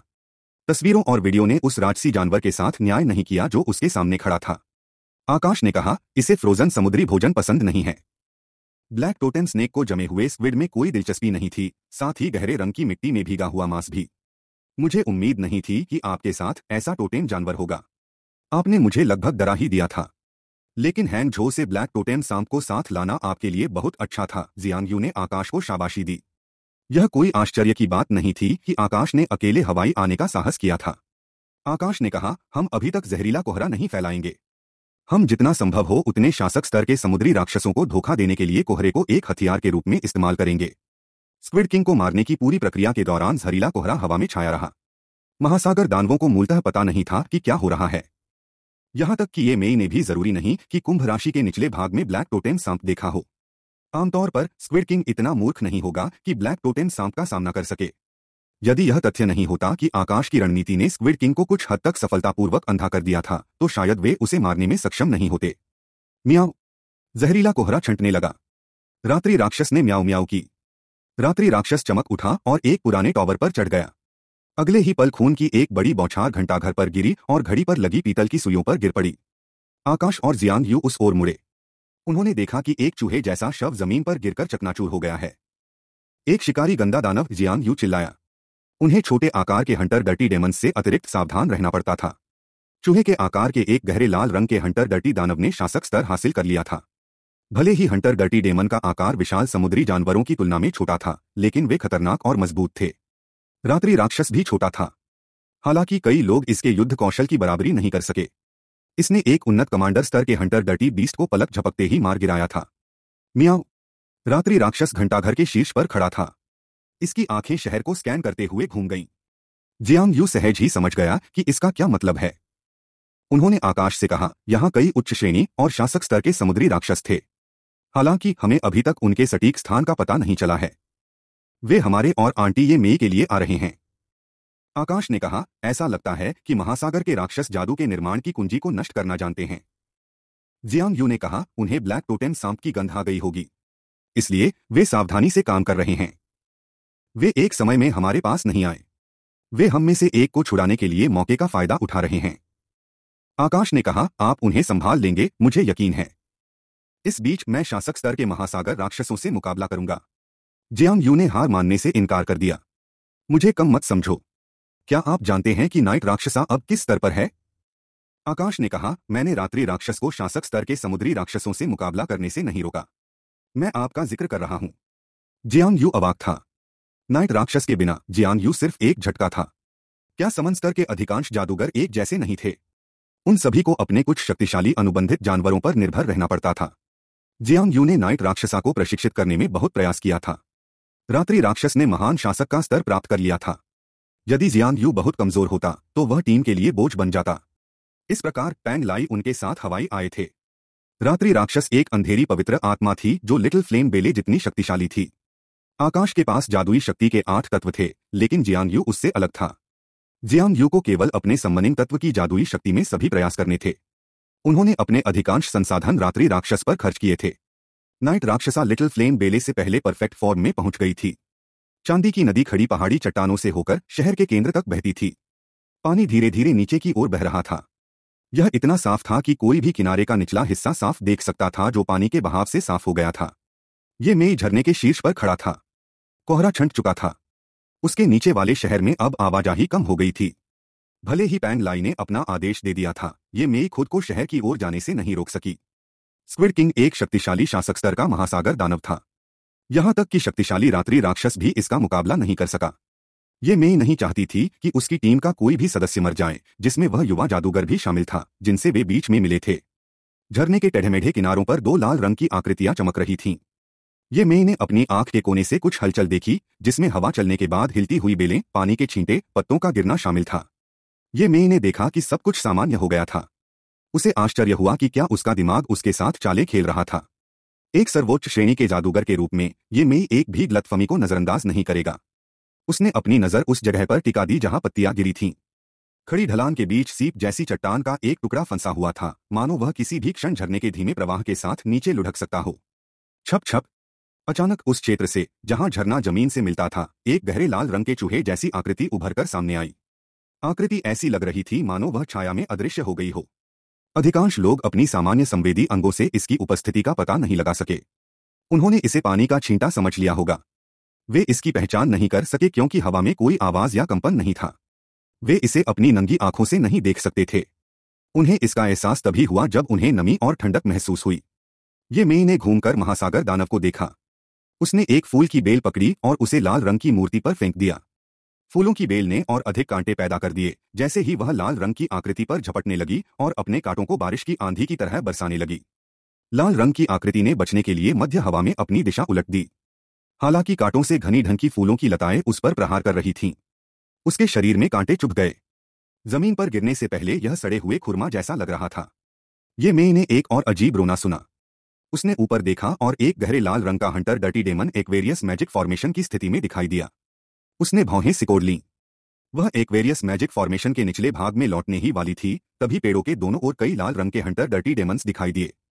वे जानते थे कि उनका ये मेई से कोई मुकाबला नहीं है, इसलिए वे समय रोकने के लिए उस पर टूट पड़े। लकड़ी के लिए फूल स्थानांतरण, ये मेई चिल्लाया। जब क्रिम्सन हंटर डर्टी डेमंस ने ये मेई पर हमला किया तो उसकी लंबी और पतली आकृति एक पतली फूल की बेल में बदल गई। जब वह हंटर डर्टी डेमंस के संपर्क में आई तो फूलों की बेल ने उन्हें घेर लिया और फूलों की पंखुड़ियाँ पैदा की, जिससे एक तेज तूफ़ान आया। चार शिकारी गंदे राक्षस पलक झपकते ही मारे गए। उनका खून नीली चांदी नदी में बिखर गया। झरने के ऊपर फूलों की बेल फिर से इंसान में बदल गई। फिर वह झरने की ओर चलने लगी। भाड़ में जाओ, ये मेई झरने के उच्चतम बिंदु पर लौट आई। उसकी हथेली एक ब्लेड में बदल गई थी और उसने शासक स्तर के हंटर डर्टी डेमन पर वार किया था, जिसने एक्वेरियस मैजिक फॉर्मेशन को नष्ट करने का प्रयास किया था।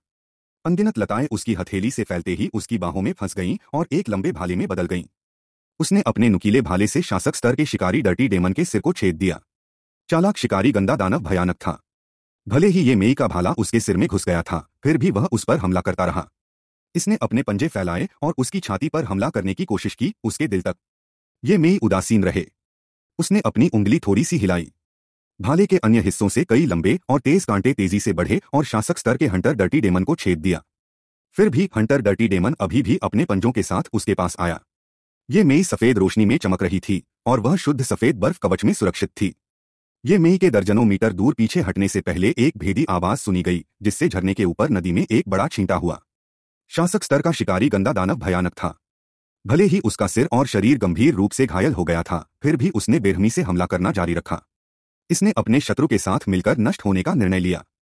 ये मेई ने कभी भी इस तरह के खतरनाक शासक स्तर के हंटर डर्टी दानव का सामना करने की उम्मीद नहीं की थी, जहाँ उसे खुद को बचाने के लिए अपने जादुई उपकरणों का उपयोग करने के लिए मजबूर होना पड़ा।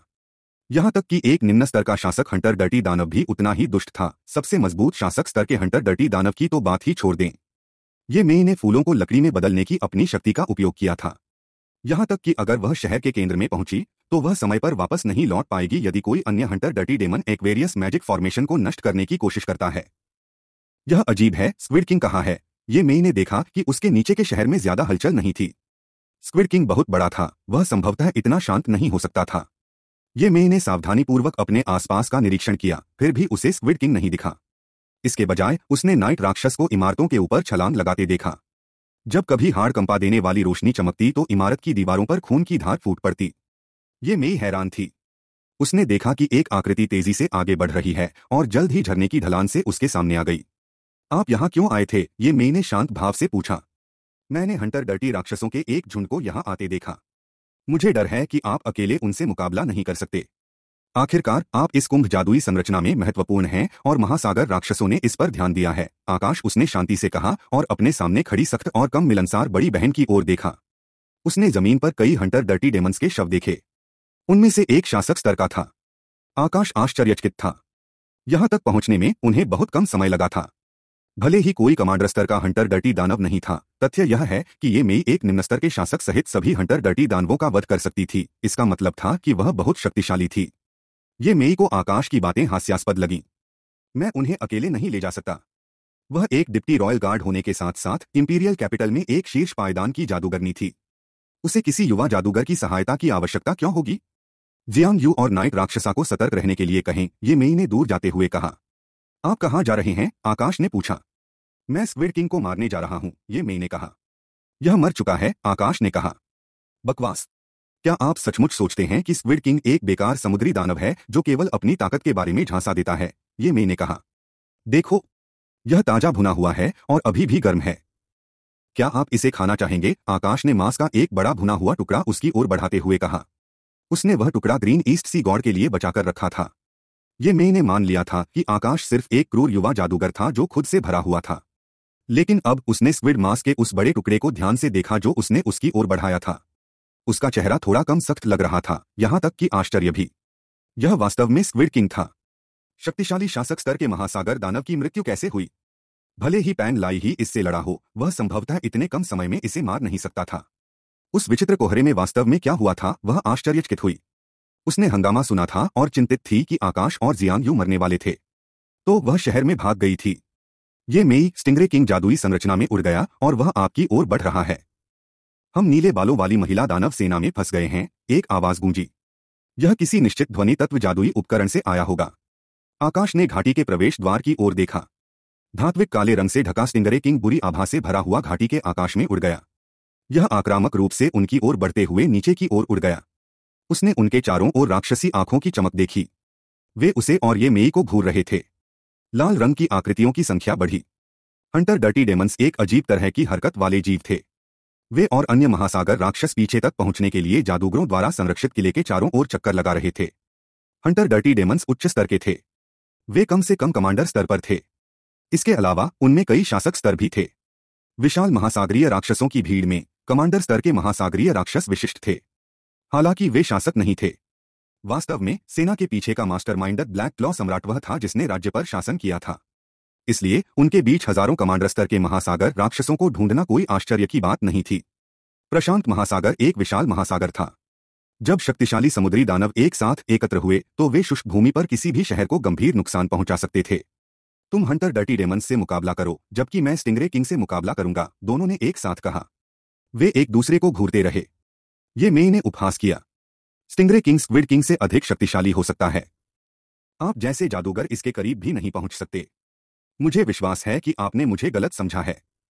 आप जानते हैं कि देश ने कई बचाव दल सौंपे हैं, और आपकी टीम रॉयल मैजेस का प्रतिनिधित्व करती है। इस बीच मैंने प्रवर्तन संघ का प्रतिनिधित्व किया।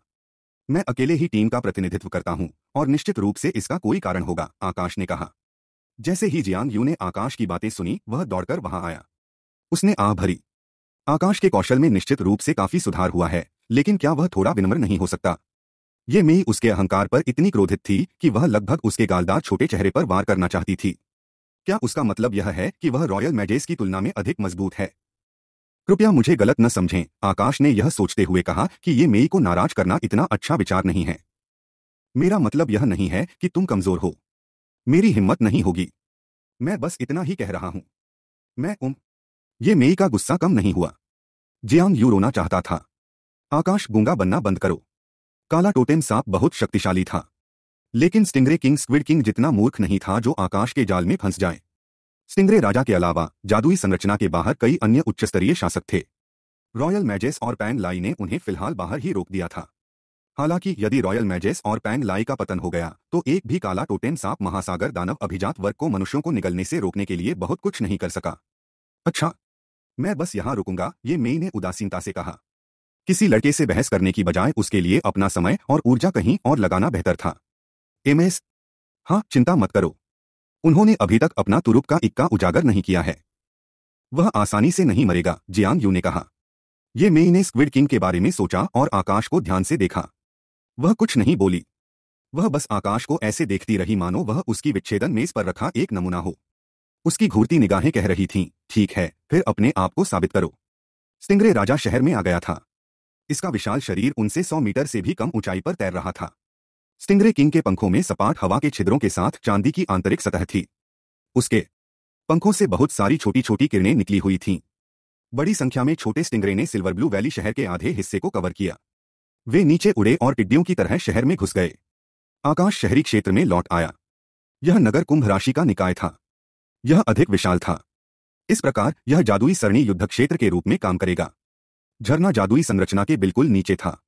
कुंभ का प्रवेश द्वार संकीर्ण था, इसलिए अन्य समुद्री राक्षसों की भीड़ अंदर घुसने में असमर्थ थी। स्टिंगरे राजा बेहद चालाक था।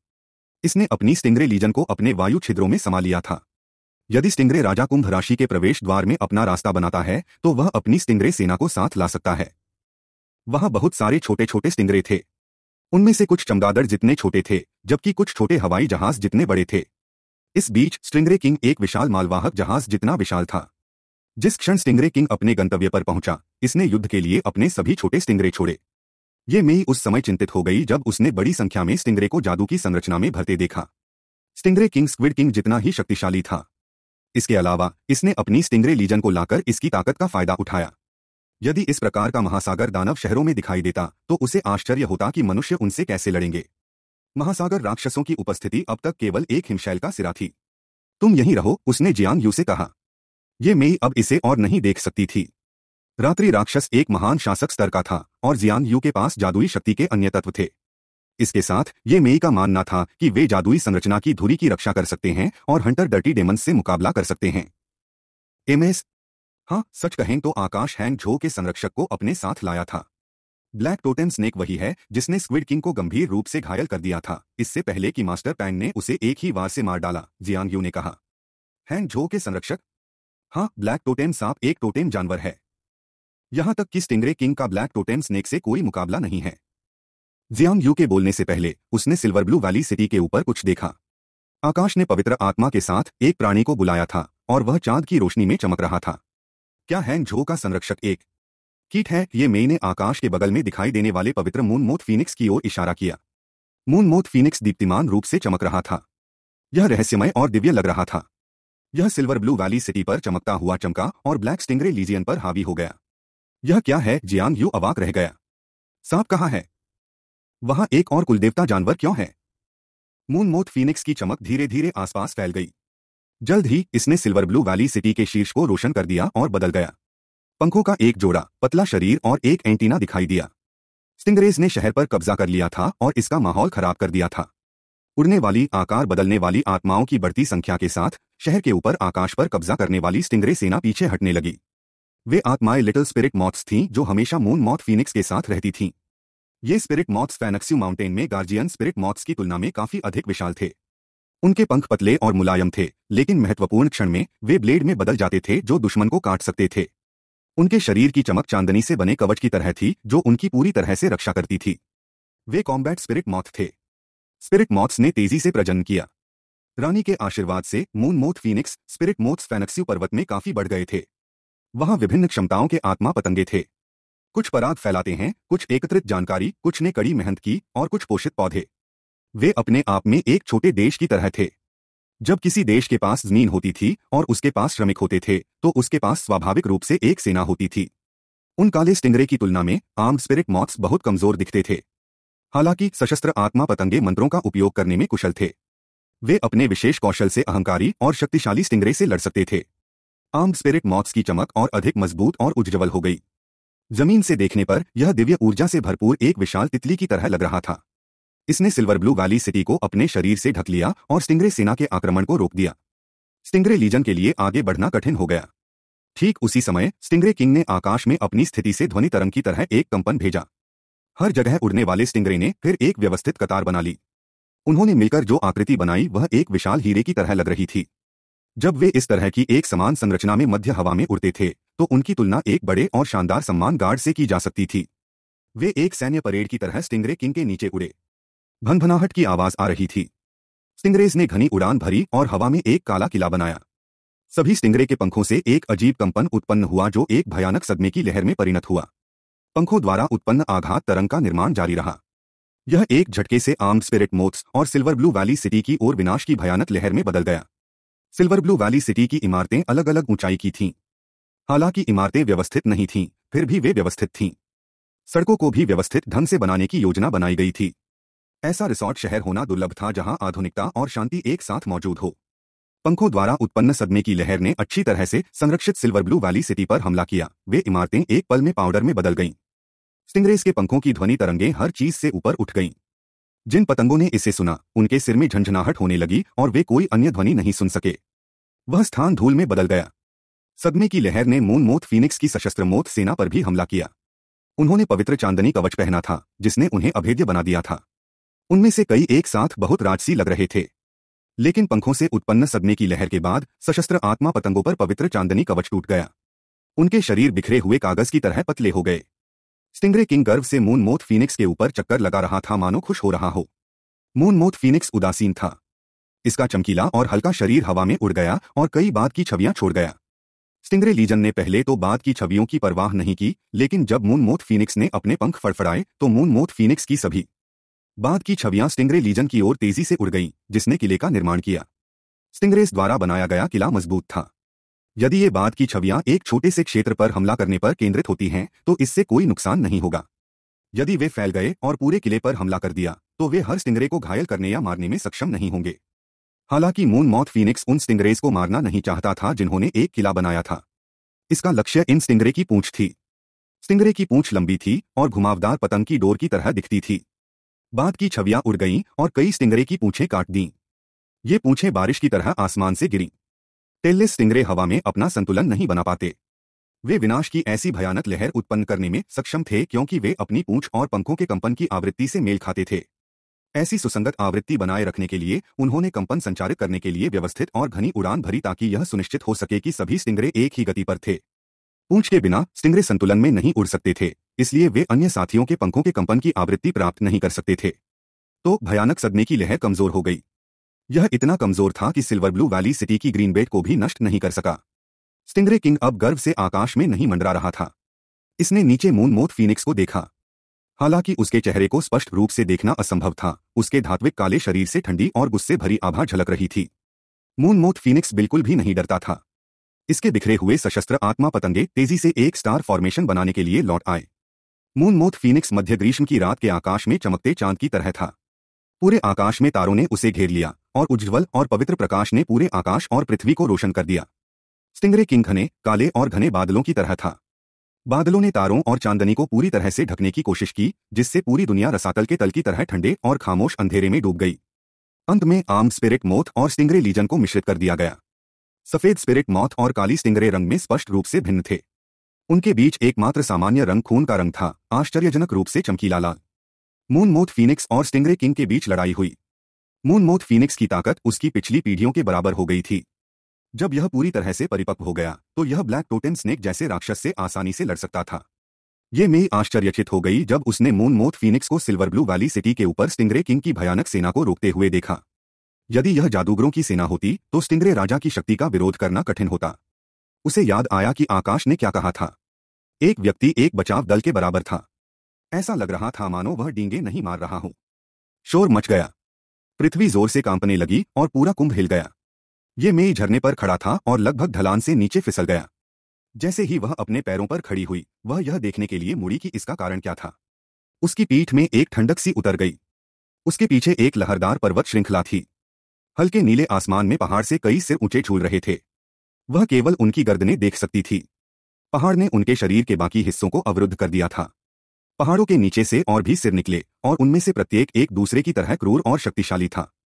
उनमें प्राचीन राक्षसों जैसा जंगलीपन और अहंकार तथा राक्षसों के बीच थोड़ी सी दिव्यता थी। वे एक अज्ञात दुनिया से आए थे और यह एक भूमि को कांपने के लिए पर्याप्त था। वे सांप के सिर थे। उनमें से कुल आठ थे। वे सिर हवा में लहराए। उसकी राक्षसी आभा के सामने बड़े बड़े जानवर और राक्षसी बुरी आत्माएँ कुछ भी नहीं थीं। यह धीरे धीरे फिसल गया। उनके लिए विकल्प यह था कि या तो वे आत्मसमर्पण कर दें या उन्हें उनके टुकड़े टुकड़े कर देने दें। यह उस ज्वालामुखी में बड़ा सांप है। जब ये मैंने प्राणी को देखा तो उसकी पीठ ठंडे पसीने से भीग गई। यहाँ तक कि जब उसने पहले भी उस सांप को देखा था तो उसे उससे बहुत डर लगा था। लेकिन अब वह पहाड़ पार कर चुका था और एक क्रूर अत्याचारी की तरह सिल्वर ब्लू वैली शहर की ओर रेंग रहा था। इसका केवल एक ही लक्ष्य था, जितना संभव हो उतने लोगों को मारना। आकाश को भी तीव्र आभा का एहसास हुआ। जब उसे स्रोत मिला तो ज्वालामुखी में बड़ा सांप पहले ही बोतल के नीचे पहुँच चुका था। कुंभ की दीवार के पार, इसके आठ सिर एक ही समय में फैले हुए थे। विभिन्न रंगों की सोलह भयंकर आँखें बोतल के नीचे आकाश, ये मेई और जियांग यू को देख रही थीं। जियांग यू सबसे पहले ज़मीन पर गिरा, उसके पैर काँप रहे थे। ये मेई और आकाश खड़े रहे, लेकिन वे अपने पूरे शरीर में रोंगटे खड़े हो रहे महसूस कर सकते थे। महासागर राक्षसों की विशाल सेना का सामना करते समय, कुंभ राशि की मजबूती ने उन्हें आशा और राहत प्रदान की थी। हालाँकि, जब उनका सामना इस आठ सिर वाले सांप से हुआ तो उन्हें ऐसा लगा जैसे कुंभ नाजुक था और यह सांप उसे आसानी से तोड़ सकता था और टुकड़े टुकड़े कर सकता था। तीदिस आकाश ने राक्षस के शरीर की ओर देखा। एक ही शरीर से उगे आठों सिर। उन्होंने सोचा था कि वह पहाड़ पर फिसलकर उनकी ओर आ गया था, लेकिन शव पहाड़ में था। इसका शरीर आठ पहाड़ियों और आठ घाटियों को भरने के लिए पर्याप्त बड़ा था। इसकी पीठ पर कुछ क्षेत्रों में बड़े भूरे कवच थे, कुछ क्षेत्रों में काई और पेड़ थे, कुछ क्षेत्रों में सफ़ेद धुएँ के साथ ठंडा मैग्मा था। इसकी आठ पूंछें भी थीं। जब उसने अपनी पूंछ खींची तो पहाड़ और घाटियाँ गड़गड़ाने लगी। आकाश समझ गया कि पैंग लाई का क्या मतलब था। यह कुछ ज्वालामुखीय सांप नहीं थे जैसा कि आकाश ने सोचा था, बल्कि वे सभी एक ही शरीर से विकसित हुए थे। इस राक्षस के आठ विशाल सिर और पूछ थे। आठ सिर वाला सांप पैंग लाई कुंभ राशि के केंद्र में था। जब उसने राक्षस को पास देखा तो उसकी आँखों में भय भर आया। शाही महान जादूगर घबरा गए। इससे कोई फ़र्क नहीं पड़ता कि वहाँ कितने भी समुद्री राक्षस थे, वे ऐसे भयानक राक्षस से बेहतर थे। यह सोचना चिंताजनक था कि एकवेरियस इतने शक्तिशाली प्राणी के हमलों के तहत कितनी देर तक टिक सकता है। यह कुंभ जादुई संरचना को नष्ट करने जा रहा है, ये मेई चिल्लाया। आठ सिर वाले सर्प के तीन सिरों ने मैग्मा की गंध के साथ अपने मुँह खोले और उनकी गर्दन पर घनी रक्तवाहिकाएँ दिखाई दी। लाल गर्म मैग्मा रक्तवाहिकाओं में भर गया और उनके गले में इकट्ठा हो गया। बूम! ऐसा लगा मानो एक ही समय में तीन ज्वालामुखी फूट पड़े हों। आठ सिर वाले सर्प ने कुंभ राशि के पक्ष पर हमला किया। तीनों प्रमुख लगातार मैग्मा उगलते रहे। उनके हमले इतने तेज थे कि बोतल का निचला हिस्सा और मुँह भी प्रभावित हो गया। सिल्वर ब्लू वैली सिटी दस सेकंड के भीतर मैग्मा में डूबी हुई दिखाई दी। यदि कुंभ की सुरक्षा नहीं होती तो यह पिघलकर पोखर में तब्दील हो गया होता। एक वेरियस मैजिक फॉर्मेशन के बाहर से गर्म हवा बहती हुई अंदर आई। कई इलाके इतना अधिक तापमान बर्दाश्त नहीं कर सके और जलने लगे। शहर में स्टिंगरे राजा ने आठ सिर वाले सांप को आग उगलते हुए देखा, इसलिए उसने निर्णायक रूप से सभी स्टिंगरे सेना को वापस अपने गलफड़ों में समा लिया और कुंभ को छोड़ दिया। मून मोथ फीनिक्स नहीं चाहता था कि उसके सशस्त्र आत्मा पतंगे आग के समुद्र में मर जाएँ। इसने अपने शरीर को हिलाया और सभी सशस्त्र आत्मा पतंगों को चारों ओर चमकती रोशनी में बदल दिया जो उसके साथ जुड़ गईं। यह आकाश के पास लौट आया। क्या कुंभ राशि वाले हमलों का सामना कर सकते हैं? आकाश ने बेचैनी से पूछा। फ़िलहाल हाँ ये मई ने उत्तर दिया। एक प्रचंड ज्वाला ने सिल्वर ब्लू वैली शहर को लाल गंदगी में बदल दिया। भले ही कुंभ जादुई संरचना ने आठ सिर वाले सर्प द्वारा उगली गई अधिकांश आग को रोक दिया था, फिर भी उन्हें गर्मी और असुविधा महसूस हो रही थी, जैसे कि वे भट्टी में हों। यदि वे सीधे आग का सामना करते तो उनमें से अधिकांश इसका सामना करने में सक्षम नहीं होते। आठ सिर वाले सर्प द्वारा मैग्मा का छिड़काव समाप्त करने के बाद, सभी ने सोचा कि उनके पास तैयारी के लिए थोड़ा समय होगा। हालाँकि एक और सिर फिर उठा। इस सिर से जुड़ा शरीर हिमखंड जैसा था। जैसे ही आठ सिर वाले सर्प के बर्फीले सिर ने हमला करना शुरू किया, एक बर्फीला तूफ़ान दिखाई दिया। बहुत खूब। बर्फीले सिर ने एक भयानक सफ़ेद बर्फ़ का ज्वार छिड़का। यह ऐसा था, मानो आठ सिर वाले सर्प ने एक हिमखंड खा लिया हो और उसे हिंसक तरीके से उगल दिया हो। मैग्मा ने अभी अभी एक वेरियस को झुलसाया था और बर्फ़ का ज्वार उसे फिर से हरा रहा था। बोतल की दीवार पर तुरंत एक दरार दिखाई दी। ठंडी हवा दरारों के माध्यम से सिल्वर ब्लू वैली शहर में प्रवेश कर गई। घाटी गर्म गर्मी से भीषण सर्दी में बदल गई। नदियाँ, शहर, पहाड़, जंगल और यहाँ तक कि निचले स्तर के समुद्री राक्षस भी जम गए। अरे नहीं, ये मई सिल्वर ब्लू नदी के पानी को देखकर मुँह बनाने लगी। कुंभ जादुई संरचना को बनाए रखने के लिए नदी का प्रवाह महत्वपूर्ण था। यह कुंभ राशि की प्रत्येक स्थिति में अवरोध की ऊर्जा पहुंचाएगा। यदि नदी स्थिर हो गई तो कुंभ के अन्य हिस्से भी कठोर हो जाएँगे और ऊर्जा प्राप्त नहीं कर पाएँगे। जमी हुई चीज़ें अपनी कठोरता खो देती हैं और प्रभाव से आसानी से टूट जाती हैं। सिल्वर ब्लू नदी जम गई थी, जिसका मतलब था कि संपूर्ण कुंभ जादुई संरचना जमी हुई थी। एक साथ हो जाओ। कुंभ टूट रहा है। ये मेई चिल्लाया। बोतल का निचला भाग पहले से ही टूटा हुआ था। नाजुक टोंटी की तो बात ही छोड़ दें। आठ सिर वाले सर्प ने अपने विशाल शरीर से कुंभ को तोड़ डाला। आठ सिर वाले सर्प के कुचले जाने से विशाल कुंभ जादुई संरचना टूट गई। यहाँ तक कि पहाड़ी घाटी भी इसकी भयानक शक्ति के कारण लगभग गहरी ज़मीन में डूब गई। बूम! यह एक और पूर्ण विकसित स्टॉम्पिंग थी। आठ सिर वाले सांप का शरीर एक विशाल पर्वत जैसा था। यह उसके सिर और गर्दन की तरह पतला नहीं था। इसकी विनाशकारी शक्ति प्राचीन राक्षसों के बराबर थी। यह पृथ्वी को डुबा सकता है। मानो आठ सिर वाला सर्प विनाश के लिए पैदा हुआ हो। भीड़ इकट्ठी हो गई। आठ सिर वाले सर्प के सामने वे बहुत छोटे लग रहे थे। पैन लाई गंभीर लग रही थीं। वह एक ऐसे समाधान के बारे में सोचने की कोशिश कर रहा था जिससे वे सभी सुरक्षित बच सकें। उसे संदेह था कि वे प्राणी के विरुद्ध जीत सकते हैं। वे एक वेरियस मैजिक फॉर्मेशन के बिना मर गए होते, लेकिन यह और भी बुरा था। सभी दिशाओं में अनगिनत दुश्मन थे, और हर कोई एक नाजुक चट्टान पर लग रहा था। हर दिशा से राक्षसों की लहरें आने लगीं। प्रमुख उपप्रमुख, आप दूसरों को घाटी के प्रवेश द्वार से बाहर लाएँ। हम चारों पवन क्लेश शुरू करेंगे। चार दिशाओं के रक्षकों में से एक बेशौ ने दृढ़ता से कहा, तुम सब जाओ। मैं पवन क्लेश शुरू करूँगा। पैंग लाई ने अपना निर्णय लिया। प्रमुख, अगर हम एक साथ काम करें। एक मध्यम आयु वर्ग के महान जादूगर ने कहा, मैंने तय कर लिया है। आठ सिर वाला सर्प एक प्राचीन राक्षस है। यहाँ कोई इसका मुकाबला नहीं कर सकता। जबकि कुंभ राशि में अभी भी थोड़ी ऊर्जा शेष है। आप लोग घाटी के प्रवेश द्वार से बाहर निकलें। मैं आठ सिर वाले सांप को पकड़ लूँगा और तुम्हारे लिए रास्ता खोल दूँगा पैंग लाई ने कहा। कैसा रहेगा अगर मैं आठ सिर वाले सांप को पकड़ लूँ और तुम सब भाग जाओ, आकाश झिझका। आकाश नहीं चाहता था कि पैंग लाई मर जाए। वह पैंग लाई का सम्मान करता था और वह उसे खतरे में देखना बर्दाश्त नहीं कर सकता था। सिर्फ़ इसलिए कि मैं रुक गया, इसका मतलब यह नहीं है कि मैं मर जाऊँगा, आकाश पैंग लाई ने मुस्कुराते हुए कहा। तुम्हें इतना सोचने की ज़रूरत नहीं है। मेरी बात सुनो। मुझे पता है कि आपके हाथ में अभी भी कुछ कार्ड हैं, लेकिन हमें कमांडर हुआ भी नहीं मिला है। अगर हम इसका इस्तेमाल अपनी सुरक्षा और भागने के लिए करते हैं तो हमारे यहाँ आने का क्या मतलब है? लेकिन वह प्राणी डरावना है। आकाश ने अपने सिर के ऊपर आठ सिर वाले सांप पर नज़र डाली। आठ सिर वाले सांप ने पहले ही घाटी और शहर को कुचल दिया था। वे सभी एक साथ एकत्र हुए और बोतल के मुँह की शेष स्थिति का उपयोग खुद को बचाने के लिए किया। आकाश टोटेम को बाहर जाने दो। हम पहले भागेंगे पैंग लाई ने फिर कहा। प्रमुख उस मून मौत फीनिक्स टोटेम के साथ भी हमारे लिए महासागर राक्षसों की सेना से छुटकारा पाना मुश्किल होगा। सभी को मिलकर काम करना चाहिए, ये मई ने कहा। बकवास बांधकर। इसे करें पैंग लाई ने आदेश दिया।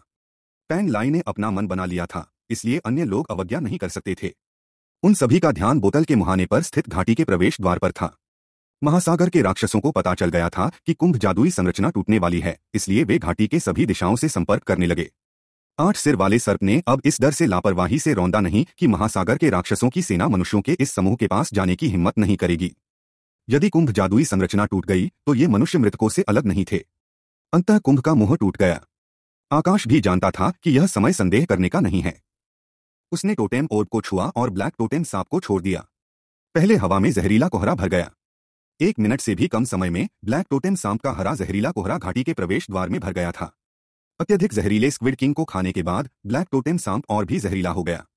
जहरीले कोहरे का रंग इतना गहरा था कि वह लगभग काला नज़र आ रहा था। जैसे ही जहरीला कोहरा फैला, महासागर राक्षसों के समूह सुन्न हो गए और लकवाग्रस्त होकर ज़मीन पर गिर पड़े। ये मई, चार दिशाओं के रक्षक, समान पोशाक में तीन महान जादूगर और अन्य शाही जादूगर खुश थे। समुद्री राक्षसों के विरुद्ध जहरीला कोहरा बहुत प्रभावी लग रहा था। यहाँ तक कि कमांडर स्तर के जीव भी कोहरे से बच रहे थे। अरे, रास्ता खोलने में हमारी मदद करो, आकाश ने काले टोटेम सांप से कहा। काला टोटेम सांप शक्तिशाली था। इसने अपना शरीर फैलाया और घाटी के प्रवेश द्वार के लगभग आधे हिस्से पर कब्जा कर लिया। यह बहुत तेज भी था। जब वह आगे बढ़ा तो उसके संपर्क से चट्टाने और पहाड़ की दीवारें टूट गईं। घाटी के प्रवेश द्वार को अवरुद्ध करने वाली सेना समुद्री शैवाल बालों वाली महिला दानव और गहरे समुद्र में छिपकली दानव ड्रैगन ट्रूप थी। साधारण छिपकली दानव ड्रैगन संकर ड्रैगन थे। उन्हें गहरे समुद्र की छिपकलियों की भयानक प्रजनन क्षमता विरासत में मिली। हर वसंत में कुछ अलग थलग प्रशांत द्वीपों में गहरे समुद्र में छिपकलियों के अनगिनत अंडे होंगे। बड़े पैमाने पर प्रजनन के कारण ड्रैगन रक्त वाले प्राणियों की संख्या धीरे धीरे कम हो जाएगी। रक्तरेखा जितनी शुद्ध होगी, प्रभाव उतना ही अधिक होगा। छिपकली दानव ड्रैगन ने अधिकांश हाइब्रिड ड्रैगन, छदम ड्रैगन और उपड्रैगन की कमियों को पूरा कर दिया था। ड्रैगन रक्त के मज़बूत भौतिक लाभ के कारण प्रशांत महासागर के मध्य में छिपकली दानव ड्रैगन साम्राज्य का गठन किया गया था। शिपकली दानव ड्रैगन का आईक्यू अधिक नहीं था, लेकिन एक प्राणी था जिसने उनके साथ पारस्परिक रूप से लाभप्रद सहजीवन बनाया था। यह समुद्री शैवाल बालों वाली मादा राक्षसी थी। कई समुद्री देश गहरे समुद्र की इन भयावह और दुष्ट महिलाओं से नफरत करते थे। वे न केवल क्रूर थे, बल्कि उन पर चीज़ों और स्थानों पर हमला करने का जुनून भी सवार था। प्रत्येक समुद्री शैवाल बालों वाली महिला दानव एक छिपकली दानव ड्रैगन रूप के नेता के बराबर थी। समुद्री शैवाल बालों वाली मादा दानवे अपनी जाति के अलावा हर प्राणी के खिलाफ लगातार युद्ध छेड़ती रहती थीं और उन्हें विशेष रूप से मनुष्यों वाले शहर पसंद थे। इन समुद्री शैवाल बालों वाली मादा राक्षसों और गहरे समुद्र में चिपकली दानव ड्रैगन के कारण विदेशों में अधिकांश तटीय शहर रातों रात गायब हो गए। ऐसा लगता था जैसे वे युद्ध के लिए ही बनाए गए हों। यहाँ तक कि उन्होंने अतिप्रजन की अपनी भयानक क्षमता को कम करने के लिए युद्ध पर भी भरोसा किया और अन्य गहरे समुद्र छिपकली दानव ड्रैगन को एक स्थिर रहने की जगह दी। समुद्री शैवाल बालों वाली महिला दानव ने अपने स्तर की ताकत और शक्ति के साथ गहरे समुद्र में छिपकली दानव ड्रैगन ट्रूप का नेतृत्व किया। एक बैंगनी बालों वाली महिला दानव ने घाटी के प्रवेश द्वार को अवरुद्ध कर दिया। इसने दस नीले बालों वाली महिला राक्षसों के एक हज़ार छिपकली दानव ड्रैगन दल का नेतृत्व किया। इसमें एक विशिष्ट छिपकली दानव ड्रैगन ट्रूप भी था जो पूरी तरह से कमांडर स्तर के तानाशाह छिपकली दानव ड्रैगन और शासक स्तर के विशाल छिपकली ड्रैगन से बना था। दसियों और हज़ारों बड़े छिपकली दानव ड्रैगन ने घाटी और बाहर के क्षेत्र को भर दिया। यह देखना डरावना था।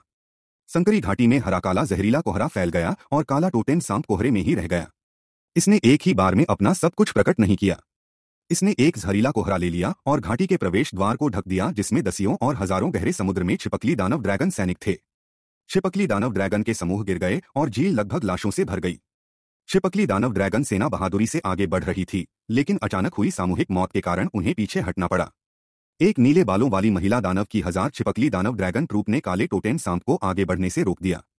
ब्लैक टोटेन सांप अचानक आगे की ओर उछला और उसने अपनी विशाल पूंछ को Thousand Lizard Demon Dragon Troop पर थपथपाया। छिपकली दानव ड्रैगन की मृत्यु हो गई। पूंछ की ताकत कुछ ऐसी थी जिसे ये निचले स्तर के महासागर राक्षस बिल्कुल भी सहन नहीं कर सकते थे। भले ही उनकी त्वचा ड्रैगन के खून से सनी हुई हो, फिर भी वे हमले का सामना नहीं कर सके। ब्लैक टोटेन सांप ने गहरी सांस ली और उसका पेट और गर्दन थोड़ा फैल गया। अचानक उसने अपना मुँह खोला और थूक दिया। एक विशाल हरी रोशनी एक सीधी रेखा में चमकी। ग्रीन स्नेक लाइट के थूकने में चट्टानों और पौधों पर कोई विनाशकारी शक्ति नहीं थी, और यह एक रोशनी की तरह दिखती थी जो हानिरहित रूप से फैलती थी। हालाँकि छिपकली दानव ड्रैगन पिघल गए। उनके शरीर, उनकी हड्डियों सहित पिघल गए और पोखर में बदल गए। जो कुछ बचा था वह छिपकली दानव ड्रैगन की त्वचा थी। ग्रीन स्नेक लाइट एक विस्तृत क्षेत्र में फैल गई और छिपकली दानव ड्रैगन ट्रूप को भारी हताहत होना पड़ा। शक्तिशाली सेना मर रही थी। ये मेई चार दिशाओं के रक्षक, महान जादूगर और शाही जादूगर तब चौंक गए जब उन्होंने काले टोटेन सांप को रास्ता साफ़ करते देखा। ये मेई ने सोचा कि आकाश मून मौत फीनिक्स को बुलाएगा, जिसने पहले लड़ाई में सभी की सहायता करने के लिए स्टिंगरे को अवरुद्ध कर दिया था। उसे उम्मीद थी कि इससे उन्हें रास्ता साफ़ करने में मदद मिलेगी। हालाँकि आकाश ने एक सर्वोच्च शासक को बुलाया था। ब्लैक टोटेन सांप की विनाशकारी शक्ति मून मोथ फीनिक्स की शक्ति से कई गुना अधिक थी। ब्लैक टोटेन स्नेक ने अधिकांश छिपकली दानव ड्रैगन ट्रूप को मारने के लिए जहरीले कोहरे और शक्तिशाली ताकत का इस्तेमाल किया। काला टोटेन सांप शक्तिशाली था। छिपकली दानव ड्रैगन ट्रूप भी अपेक्षाकृत शक्तिशाली और क्रूर लड़ाकू दल था। हालाँकि यह फिर भी ब्लैक टोटेन सांप के हमले का सामना नहीं कर सका। घाटी के पीछे आठ सिर वाले सांप ने विनाशकारी आभा के कारण अपना सारा सिर घाटी के प्रवेश द्वार की ओर कर लिया। उसकी कुछ गर्दनों में गलफड़े थे। और वे सभी खुले हुए थे। मानो उन्हें किसी ऐसी चीज़ का सामना करना पड़ा हो जो उसके जैसे राक्षस के शक्तिशाली अस्तित्व को खतरे में डाल सकती थी। आठ सिर वाला सर्प अब इस लड़ाई में गंभीर होता दिख रहा था। काला टोटेन सांप घूम गया। इसने सामने की छोटी बाधाओं को दूर करने के लिए अपनी पूंछ का उपयोग किया और आठ सिर वाले सांप को घूरने के लिए अपना सिर उठाया। आठ सिर वाले सांप के आठ सिरों ने गड़गड़ाहट जैसी आवाज़ निकाली और काले टोटेन सांप की ओर दौड़ पड़े। जब उसका विशाल शरीर हिलता था तो ऐसा लगता था मानो आठ भयानक और क्रूर सिर एक पर्वत को अपने पीछे खींच रहे हों। छोटा शहर ऐसी तबाही बर्दाश्त नहीं कर सका। पवन क्लेश के नौ लोग। आठ सिर वाले सर्प के सिल्वर ब्लू वैली शहर में घुसने के बाद पैंग लाई की गंभीर आवाज़ ने अचानक सब कुछ अभिभूत कर दिया। सफ़ेद वस्त्र में पैंग लाई को घाटी के बीच में लटका दिया गया था। उसके शरीर पर प्रकाश इतना तेज था कि पूरी जगह रोशन हो गई। वह एक देवता की तरह लग रहा था। विभिन्न आयामों से हवा आकाश में भड़क उठी और विशाल विश्व में भर गई। उनके छायाचित्र स्पष्ट थे। वे दिव्य पवन हंसिया थे और इस विमान को काट रहे थे। दिव्य पवन दरांती की शक्ति अनंत थी। यहाँ तक कि विध्वंसक, आठ सिर वाले सर्प ने भी दिव्य पवन हंसिया द्वारा काटे गए नौ लोगों में आसानी से कदम रखने की हिम्मत नहीं की। पवन क्लेश के नौ लोगों में सभी प्राणियों को भयानक पवन दरांती द्वारा लगातार काटा जाएगा। आठ सिर वाला सांप काले टोटेम सांप से नहीं डरता था और जमकर उसकी ओर दौड़ता था। हालाँकि पैंग लाई के पवन क्लेश के नौ लोगों का सामना करना डरावना था। इसने पवन क्लेश के नौ लोगों को तोड़ने के लिए कुछ अपेक्षाकृत ठोस भागों का उपयोग करने की कोशिश की, लेकिन दिव्य पवन सिकल ने उन्हें आसानी से काट दिया। उसके शरीर का एक बड़ा टुकड़ा ज़मीन पर गिर गया। इसने आठ सिर वाले सर्प को और भी क्रोधित कर दिया। वह काले टोटेम सांप को टुकड़े टुकड़े करना चाहता था, लेकिन एकमात्र मानव के शक्तिशाली पवन क्लेश के नौ लोगों ने उसका रास्ता रोक दिया। अचानक आठ सिर वाले सर्प ने अपना सारा गुस्सा घाटी के मध्य में पैंग लाई पर स्थानांतरित कर दिया। पैंग लाई अकेली थी। भले ही उसकी साधना बहुत ऊँची थी, राक्षस के सामने खड़ा होना मौत को दावत देने के समान था। आठ सिरों वाला सर उस स्थान पर मंडरा रहा था, जहाँ दिव्य पवन हंसिया नहीं पहुँच सकती थी। यह जानता था कि बूढ़ा मानव मनुष्य दिव्य पवन हंसिया को बहुत अधिक घुमाने की हिम्मत नहीं करेगा, क्योंकि इससे सभी राक्षसों के हमलों के लिए दिव्य पवन हंसिया ही उजागर हो जाएगी। पैंग लाई ने हमलों को रोकने के लिए पवन क्लेश के नौ लोगों का उपयोग किया। उसने खुद को बचाने और शक्तिशाली राक्षसों को पास आने से रोकने के लिए दिव्य पवन सिकल के हत्या प्रक्षेप पथ का भी उपयोग किया। अरे, उस राक्षस को अनदेखा करो। पहले हमारी मदद करो, आकाश ने ब्लैक टोटेम स्नेक से कहा। इस दुनिया में बहुत से प्राणियों ने ब्लैक टोटेम सांप को भड़काने की हिम्मत नहीं की। आठ सिर वाला सांप एक प्राचीन राक्षस और प्राकृतिक विध्वंसक था, लेकिन ब्लैक टोटेम सांप कोई साधारण प्राणी नहीं था। हज़ारों वर्षों से काला सांप हमेशा सांपों का पूर्वज रहा है। आठ सिरों वाला सांप काले टोटेम सांप की तरह अपने रक्त में उतना शुद्ध नहीं था। काला टोटेम सांप तर्कसंगत था। इसने लड़ाई में जल्दबाजी नहीं की, वे हवाई में थे। देरसबेर वैसे भी लड़ाई नौबत आ ही जाएगी। समुद्री शैवाल बालों वाली महिला दानव और छिपकली दानव ड्रैगन प्रूप को एहसास हुआ कि जहरीले कोहरे में एक सर्वोच्च शासक सांप था, इसलिए उन्होंने तुरंत कमांडर स्तर के छिपकली दानव ड्रैगन और विशाल छिपकली ड्रैगन को बुलाया। वहाँ सात विशालकाय छिपकली ड्रैगन थे, जिनमें से सभी शासक स्तर के प्राणी थे। वे एक पंक्ति में खड़े हो गए और छिपकली दानव ड्रैगन रूप के सामने खड़े हो गए। विशाल छिपकली ड्रैगन के चारों ओर समान रूप से मज़बूत और क्रूर शरीर वाले कमांडर स्तर के तानाशाह छिपकली दानव ड्रैगन का एक चक्र था। उनकी संख्या सौ से अधिक थी। वे छिपकली दानव ड्रैगन से बहुत लंबे थे। हालाँकि ब्लैक टोटेम सांप के लिए वे सिर्फ़ छिपकलियाँ थीं। सात शासक स्तर के विशालकाय छिपकली ड्रैगन बड़ी छिपकलियाँ थीं, जबकि सौ से अधिक कमांडर स्तर के तानाशाह छिपकली दानव ड्रैगन छोटी छिपकलियाँ थीं। उनके पीछे विशाल छिपकली दानव ड्रैगन दल छोटे पिस्सू के अलावा कुछ नहीं था। जब ब्लैक टोटेम सांप शांत था तो यह वेस्ट लेक में एक आलसी और नेक जल सांप था। यह मनुष्यों और जानवरों के लिए हानिरहित था और एक पालतू जानवर की तरह विनम्र था। हालाँकि जब यह हत्या और लड़ाई कर रहा था तो इसने बिल्कुल अलग स्वभाव दिखाया। इसकी भयानक और ठंडी आभा किसी को भी आघात पहुँचाने के लिए काफ़ी मज़बूत थी। सात शासक स्तर के विशालकाय छिपकली ड्रैगन एक साथ खड़े थे, लेकिन उनमें से किसी ने भी पहले हमला करने की हिम्मत नहीं की। ब्लैक टोटेम सांप ने शासक स्तर के विशालकाय छिपकली ड्रैगन को काटने के लिए अपना मुँह खोला। फिर इसने इसे कई अन्य विशालकाय छिपकली ड्रैगन के खिलाफ पटकने के लिए फेंक दिया। अन्य विशालकाय छिपकली ड्रैगन दहाड़ने लगे। बैंगनी बालों वाली एक महिला दानव ने एक अजीब गाना गाया। वे सभी लाल रोशनी से चमक उठे और एक साथ काले टोटेम सांप की ओर दौड़ पड़े। ब्लैक टोटेम स्नेक इन डरपोक बड़े छिपकली दानव ड्रैगन के कदम उठाने का इंतज़ार नहीं करेगा। उसने अपना शरीर सीधा कर लिया और उसके पूरे शरीर की पपड़ियाँ चमकीले हरे रंग की चमक उठी। यह सात विशाल चिपकली ड्रैगन में दुर्घटनाग्रस्त हो गया और इसके तराजू तीव्रता से खिल गए। यह अजय कवच पहनने जैसा था। जब यह उन विशालकाय छिपकली ड्रैगन से टकराया तो वे शासक स्तर के विशालकाय छिपकली ड्रैगन की हड्डियों के चटकने की आवाज़ सुन सकते थे। शाही जादूगर लड़ाई में शामिल होना चाहते थे क्योंकि बहुत सारे दुश्मन थे। लेकिन उन्हें इसकी आवश्यकता नहीं थी। सात शक्तिशाली शासक स्तर के विशाल छिपकली ड्रैगन ब्लैक टोटेम सांप के खिलाफ जीत नहीं सके। कुछ राउंड तक लड़ने के बाद, ब्लैक टोटेन सांप द्वारा काटे जाने के बाद प्रत्येक विशालकाय छिपकली ड्रैगन गंभीर रूप से घायल हो गया। आकाश ने सुझाव दिया, हम पीछे वालों का ख्याल रखेंगे और ब्लैक टोटेन सांप के जहरीले कोहरे में उनसे लड़ेंगे ताकि वे हमें घेर न सकें। ओ ठीक है, ये मेई और अन्य शाही जादूगर अपने होश में वापस आ गए। शाही महान जादूगरों की ताकत भी उतनी ही आश्चर्यजनक थी। उनमें से प्रत्येक साधना के शिखर पर पहुँच गया था। अंतर केवल जादुई नियंत्रण, विकास, अलौकिक शक्ति और मौलिक बीज थे। यह कहना कोई अतिशुक्ति नहीं होगी कि वे मानव क्षेत्र के सबसे शक्तिशाली जादूगरों का प्रतिनिधित्व करते थे। चारों दिशाओं के रक्षकों ने काफ़ी चतुराई से सहयोग किया।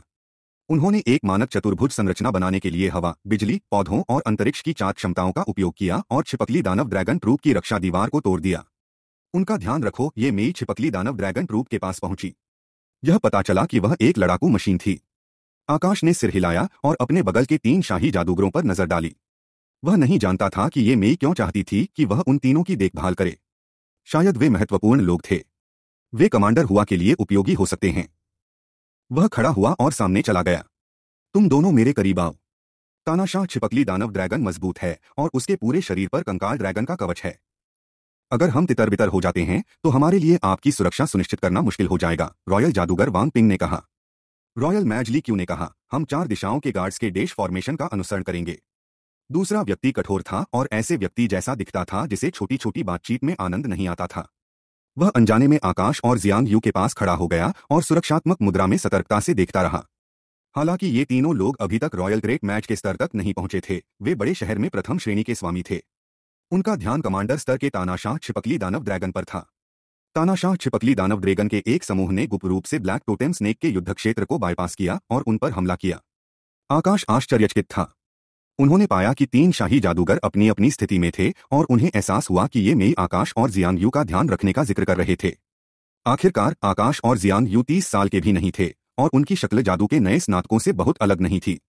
फॉरबिडन सिटी जैसी जादुई शक्ति में, यह देश भर के कॉलेजों और विश्वविद्यालयों से कुछ सबसे उत्कृष्ट जादूगरों को अपने विभाग में प्रशिक्षु के रूप में भर्ती करेगा। हालाँकि, बहुत कम प्रशिक्षु ही रुके रह सके। जियांग यू जैसा नेशनल इंस्टीट्यूट का स्टार स्तरीय जादूगर एक विशेष मामला था। मुझे आपसे टोटेम गार्जियन बनने की उम्मीद नहीं थी। इस दुनिया में टोटेम जैसे बहुत कम प्राचीन जीव रहते हैं, इसलिए टोटेम का होना सौभाग्य की बात है। इसमें कोई आश्चर्य नहीं कि आप विश्व कॉलेज टूर्नामेंट से बाहर खड़े हो सकते हैं, रॉयल जादूगर ये क्यों ने आकाश से कहा? आकाश को असहज महसूस हुआ। क्या यह संभव था कि चीन में कोई जानबूझकर उसके साथ खिलवाड़ कर रहा था? अन्यथा, यह कैसे संभव था कि झाओ जिन को हराने के बारे में किसी को पता नहीं था? हर कोई सोचता था कि वह उनकी शक्तियों की बराबरी नहीं कर सकता। टोटेम जानवरों का होना खास था, लेकिन आकाश को लगा कि वह खुद भी कमज़ोर नहीं है। क्या यह संभव था कि ली क्यों उसे पसंद नहीं करते थे, इसलिए उन्होंने जानबूझकर अपनी सारी क्षमताओं का श्रेय टोटेम गार्जियन को दिया। आकाश ने सोचा कि बात की संभावना अधिक है। भाई ली, मेरे पास नाइट राक्षस है, इसलिए कुछ नहीं होगा।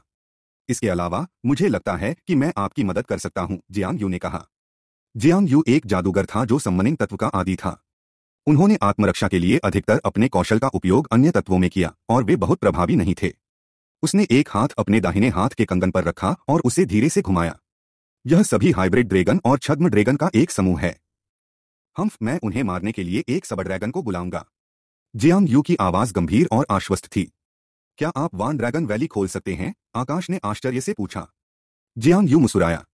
ऐसा प्रतीत होता है कि उनके सफ़ेद कंगन का उनकी आध्यात्मिक शक्ति पर महत्वपूर्ण प्रभाव पड़ा। उसकी आभा बदल गई और उसकी आँखें चमक उठीं।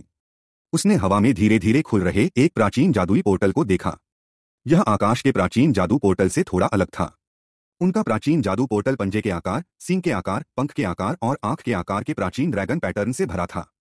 ऐसा लगता था कि प्रत्येक ड्रैगन पैटर्न एक अलग ड्रैगन जाति का प्रतिनिधित्व करता था और प्राचीन जादू पोर्टल पर ऐसे सैकड़ों और हज़ारों ड्रैगन पैटर्न थे। One Dragon Valley. पोर्टल एक प्राचीन जादुई पोर्टल था जिसे आकाश खोलने में सक्षम नहीं था। कई विशाल ड्रैगन लंबे समय से इस विमान से गायब हो गए हैं, और पोर्टल में राक्षस ड्रैगन और दिव्य ड्रैगन भी थे जो उनकी दुनिया में मौजूद नहीं थे। केवल सम्मन तत्व की क्षमता ही उन्हें थोड़े समय के लिए इस दुनिया में ला सकती है। ऐसा लगता है कि जियांग युवान ड्रैगन वैली को बहुत अच्छी तरह से जानता है। उसने धीरे से सफ़ेद कंगन घुमाया। आकाश ने देखा कि उसके ब्रेसलेट पर कई छेद आपस में जुड़कर ड्रैगन पैटर्न में बन गए हैं। कंगन से प्रकाश निकला, और प्रतिबिंबित ड्रैगन पैटर्न प्राचीन जादू पोर्टल पर ड्रैगन पैटर्न से मेल खाता था। कंकाल ड्रैगन। जियांग यू चिल्लाया। प्राचीन जादुई पोर्टल के चारों ओर मौत का ढेर सारा आभामंडल फैल गया। हालाँकि वे शुद्ध गैस नहीं थे, फिर भी वे अपने आसपास की हर चीज़ को जल्दी से फीका कर सकते थे। हड्डियों वाला एक विशाल अजगर अचानक प्रकट हुआ।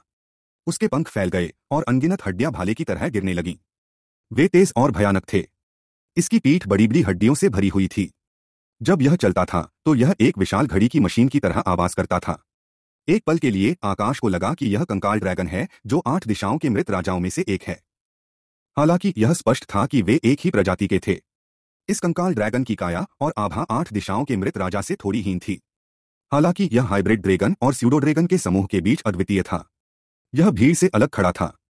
स्केलेटन ड्रैगन और उन कमांडर स्तर के तानाशाह छिपकली दानव ड्रैगन के बीच लड़ाई के दौरान यह स्पष्ट था कि उनकी ताकत में आकाश और पृथ्वी का अंतर था। इसकी नुकीली हड्डी तानाशाह छिपकली दानव ड्रैगन की कठोर त्वचा को आसानी से छेद सकती है। उनकी कठोर त्वचा उनका सबसे मज़बूत पहलू थी, लेकिन वे स्केलेटन ड्रैगन के सामने टिक नहीं पाए। हालाँकि एक दर्जन से अधिक तानाशाह छिपकली दानव ड्रैगन ने ब्लैक टोटेम सांप को दरकिनार कर दिया, लेकिन उनका अंत भी उतना ही दयनीय हुआ। स्केलेटन ड्रैगन की जानलेवा सांस उनकी लाशों को भी भ्रष्ट कर सकती है, और उन्हें छद्म ड्रैगन की हड्डियों के समूह में बदल सकती है। स्केलेटन ड्रैगन ने युद्ध मशीन की तरह हमला किया। हमले के दौरान यह लगातार कुछ टूटी हुई हड्डियों को गिराता था और गिरे हुए और टूटे हुए घटकों को भरने के लिए चुंबक की तरह ताज़ा सिडोड्रेगन की हड्डियों को अपने शरीर की ओर आकर्षित करता था। अद्भुत आकाश ने जियांग यू को थम्स अप दिया। ली क्यू वांग पिंग और सुगुआंगयू भी प्रभावित हुए। यह वही था जो पैंग लाई के एक शिष्य से उम्मीद की जा सकती थी। इतनी ताकत तो उनके पास कम उम्र में ही आ गई थी। स्केलेटन ड्रैगन में एक औसत शासक की ताकत होनी चाहिए। कुछ शाही जादूगर सुपर लेवल के तीसरे स्तर तक पहुँच गए थे। लेकिन उनमें से कोई भी अकेले एक औसत शासक के खिलाफ नहीं लड़ सकता था। एक महान शासक की तो बात ही छोड़ दें। रात्रि राक्षस संविदा स्थान में विश्राम कर रहा था। यदि पर्याप्त आराम मिलने के बाद जियांग यू ने इसे बुलाया तो यह कहना मुश्किल होगा कि सुरक्षा की आवश्यकता किसे है। जियांग यू ने तीन शाही जादूगरों की प्रशंसा भरी निगाहों का ज़्यादा जवाब नहीं दिया, लेकिन आकाश की तारीफ़ ने उसे विशेष रूप से खुश कर दिया। धत तेरी की। जियांग यू ने सोचा, आखिरकार मैंने आकाश को मेरी तारीफ़ करने के लिए मना लिया। ऐसा पहले कभी नहीं हुआ था। साधना का मार्ग लंबा था और उन्हें ऊब और अकेलेपन का सामना करना पड़ा। उन्होंने बदलाव और सुधार के लिए कड़ी मेहनत की। यदि उसे अपने पुराने सहपाठी की मान्यता और प्रशंसा मिल सके तो सब कुछ इसके लायक होगा। हालाँकि मेरा स्केलेटन ड्रैगन आपके टोटेम के साथ अतुलनीय है। यह महत्वपूर्ण समय में व्यावहारिक है। इस वर्ष मैं थोड़ा आलसी रहा हूँ। अगर मैं और अधिक मेहनत करूँ तो मैं Kingdom of the Fallen Beast या फ्लेम ड्रैगन को खोलने में सक्षम हो सकता हूँ, जियांग यू ने कहा। स्केलेटन ड्रैगन ने आसपास के खतरों को दूर कर दिया था, इसलिए वे फ़िलहाल सुरक्षित थे। यह एक सम्मनिंग जादूगर होने का लाभ था। यदि वे किसी खतरनाक प्राणी को बुलाने के लिए पर्याप्त साहसी होते तो वे युद्ध के मैदान में भी स्वस्थ होने के लिए समय पा सकते थे। मैं केवल थाउज़ेंड ट्राइब एल्फ टॉवर ही खोल सकता हूँ। आकाश ने देखा कि तीन शाही जादूगर पहले ही अपने दाहिनी और हंटर डर्टी राक्षसों से निपट चुके थे, इसलिए वह लड़ने में जल्दबाजी नहीं की। आकाश अभी भी वान ड्रैगन वैली का इंतज़ार कर रहा था। उसने अभी जो ड्रैगन पैटर्न देखा था वह वान ड्रैगन वैली में ड्रैगन को बंद करने की कुंजी होनी चाहिए। वह भविष्य में जियान यू से सलाह मांगेगा। क्या आपका सम्मनिंग तत्व सुपर लेवल तक उन्नत हो गया है? वह आश्चर्यजनक है। आखिरकार, आपके पास बहुत सारे तत्व हैं। क्या आप प्राचीन जादुई पोर्टल खोल सकते हैं? ऐसे बुलाए गए जानवर हमसे कहीं अधिक भयंकर होते हैं। आप किस प्रकार की आत्मा को बुला सकते हैं? आपको इसे अभी बुलाना चाहिए। अन्यथा, अगर छिपकली दानव ड्रेगन हमें घेर लेते हैं तो आपके पास जादू करने का समय नहीं होगा जियांग यू ने कहा। आकाश ने सिर हिलाया। वह सही था। समनिंग एलिमेंट की इतनी जादुई ऊर्जा को बचाने का कोई फ़ायदा नहीं था। अनुबंधित जानवर और आयामी जानवर किसी जादुई ऊर्जा का उपभोग नहीं करते थे। यह समंड बीस्ट्स और प्राचीन जादू पोर्टल था जिसने सबसे अधिक ऊर्जा की खपत की। आकाश ने बिजली तत्व को एकीकृत करना शुरू किया। उनके तड़ित तत्व की साधना सबसे अधिक थी। यदि कोई दुर्घटना नहीं होती तो वह सिल्वर थंडर टाइटन को बुलाना जारी रख सकता था। इसकी ताकत स्केलेटन ड्रैगन से कमतर नहीं होगी, इसलिए इसे तानाशाह छिपकली दानव ड्रैगन से निपटने में कोई परेशानी नहीं होगी। उन्ह क्या मैं असफल हो गया? आकाश को आश्चर्य हुआ। उसने अपनी आँखें खोली और पाया कि प्राचीन जादू पोर्टल में सिल्वर थंडर टाइटन लड़ने के लिए तैयार नहीं था। किसी जानवर को बुलाना हमेशा सफल नहीं होता। यह जादूगर के आध्यात्मिक क्षेत्र और जानवर की मनोच्छा पर निर्भर करता था। आप थाउज़ेंड ट्राइब एल्फ टॉवर को अच्छी तरह से नहीं जानते हैं। कई मौलिक कल्पित बौनों की अपनी प्राथमिकताएँ और जीवन होते हैं। यदि आपको उन्हें बुलाने का सही समय नहीं मिला तो आप निचले स्तर के कल्पित बौनों को बुलाने में असफल होंगे। यदि आप उन्हें इस अवधि में बहुत अधिक लड़ने के लिए कहेंगे तो उन्हें मनोवैज्ञानिक विकर्षण होगा। आखिरकार, वे केवल आपके लिए काम करते हैं, आयामी जानवरों की अर्धदास्ता के विपरीत। जियांग यू ने समझाया। आकाश के पिछले कुछ प्रयासों में भी ऐसी ही स्थिति बनी थी। उन्हें उन औसत शासक कल्पित बौनों से लड़ने के लिए कहना पड़ा, और सफलता दर तीस प्रतिशत से भी कम थी। उस समय उन्होंने उन अनुबंधित जानवरों को सफलतापूर्वक बुलाया क्योंकि लिटिल लोच ने पवित्र झरना प्राप्त कर लिया था। इससे उसे कुछ बढ़ावा मिला। प्राचीन जादू पोर्टल के खुलने से आह्वान करने वाली जादुई ऊर्जा का एक तिहाई खर्च हो गया, इसलिए आकाश को सिरदर्द महसूस हुआ। सारी सम्मोहक जादुई ऊर्जा का उपभोग करने के बाद भी वह हर योगिनी को बुलाने में सक्षम नहीं हो सका। उसे और अधिक अभ्यास की आवश्यकता थी। सफलता आसान नहीं थी। आपको लिटिल फ्लेम बेले को बुलाना चाहिए जियान यू ने सुझाव दिया। दूसरे शब्दों में, उनका मतलब था कि आकाश इसमें बुरा था। प्राचीन जादू पोर्टल का निर्माण बहुत धीमा था, आध्यात्मिक प्रवेश का समय सही नहीं था, और संचार अच्छा नहीं था। इसमें कोई आश्चर्य नहीं कि वह असफल हो गया। आकाश जानबूझकर यह बात नहीं छुपा रहा था। माना जाता है कि उसके सम्मान तत्व का स्तर सुपर स्तर तक उन्नत हो गया था। मैं फिर से कोशिश करता हूँ। आप मेरी रक्षा करें, आकाश ने अविश्वास से कहा। ध्यान केंद्रित करना सुनिश्चित करें। प्राचीन जादू पोर्टल का निर्माण बहुत धीमा है। आपको उन 2401 सितारों का अभ्यास करना होगा। जब आप सम्मनिंग एलिमेंट की क्षमता जारी करते हैं तो क्या आप अन्य तत्वों के जादू को रोक सकते हैं? आप एक ही समय में दो तत्वों का उपयोग कैसे कर सकते हैं? जियांग यू ने आकाश को डांटना जारी रखा। यदि आकाश अन्य तत्वों को एकीकृत नहीं करता तो आकाश द्वारा बुलाए जा सकने वाले कल्पित बौनों का स्तर बहुत कम होगा। उसी उपभोग के तहत सम्मन का स्तर जितना अधिक होगा, वह उतने ही बेहतर प्राणियों को सम्मन कर सकता है। यदि वह असफल हो गया तो वह कुछ नहीं कर सकेगा। इस बार आकाश ने लाइटनिंग एलिमेंट को एकीकृत नहीं किया। उन्होंने अपने फ्यूजन जादू में छाया तत्व को जोड़ा। छाया तत्व उसके बिजली तत्व और अग्नि तत्व से कमज़ोर नहीं था। जब छाया तत्व प्राचीन जादू पोर्टल के साथ विलीन हो गया तो भयानक मृत्यु पैटर्न सामने आए। शिलालेखों और धब्बों ने प्राचीन द्वार को खून की तरह ढक दिया। हे भगवान आकाश, तुम यह कैसा दरवाज़ा खोल रहे हो? यह प्राचीन जादुई पोर्टल नहीं है। गलत रास्ता मत अपनाओ। यह आपको एक अज्ञात दुनिया में खींच सकता है और फिर आप अन्य प्रजातियों के लिए बुलाए गए जानवर बन जाएँगे। इस बात की बहुत अधिक संभावना है कि आप कभी वापस नहीं आ सकेंगे। जियांग यू अचंभित रह गया। उसने आकाश को रोकने के लिए जल्दबाजी की। आकाश नहीं रुका। पहले तो वह थोड़ा डरा हुआ था। बहुत सारी छाया तत्व ऊर्जा को एकीकृत करने के बाद उसने बहुत सारे अंधकार और मृत्यु से भरा एक दरवाज़ा खोला। यह थाउज़ेंड ट्राइब एल्फ टावर की ओर नहीं जा रहा था। आकाश जियांग यू की चेतावनी को समझ गया। उन्होंने इसे तुरंत बंद कर दिया होता, लेकिन उन्हें नए जादू पोर्टल के पीछे एक परिचित माहौल का एहसास हुआ। वह इसमें पूरे एक साल तक रहा था। डार्क लैंड में निरस्ता और अवसाद सबसे आम भावनाएँ थीं। पहले तो वह थोड़ा असहज था, लेकिन जल्द ही यह परिचित हो गया। आकाश को इस बात का अंदाज़ा नहीं था कि उसने समंड बीस्ट प्लेन की जगह डार्क प्लेन खोल लिया है। आकाश को आश्चर्य हुआ जब उसने आत्मा के रूप में डार्क प्लेन में प्रवेश किया।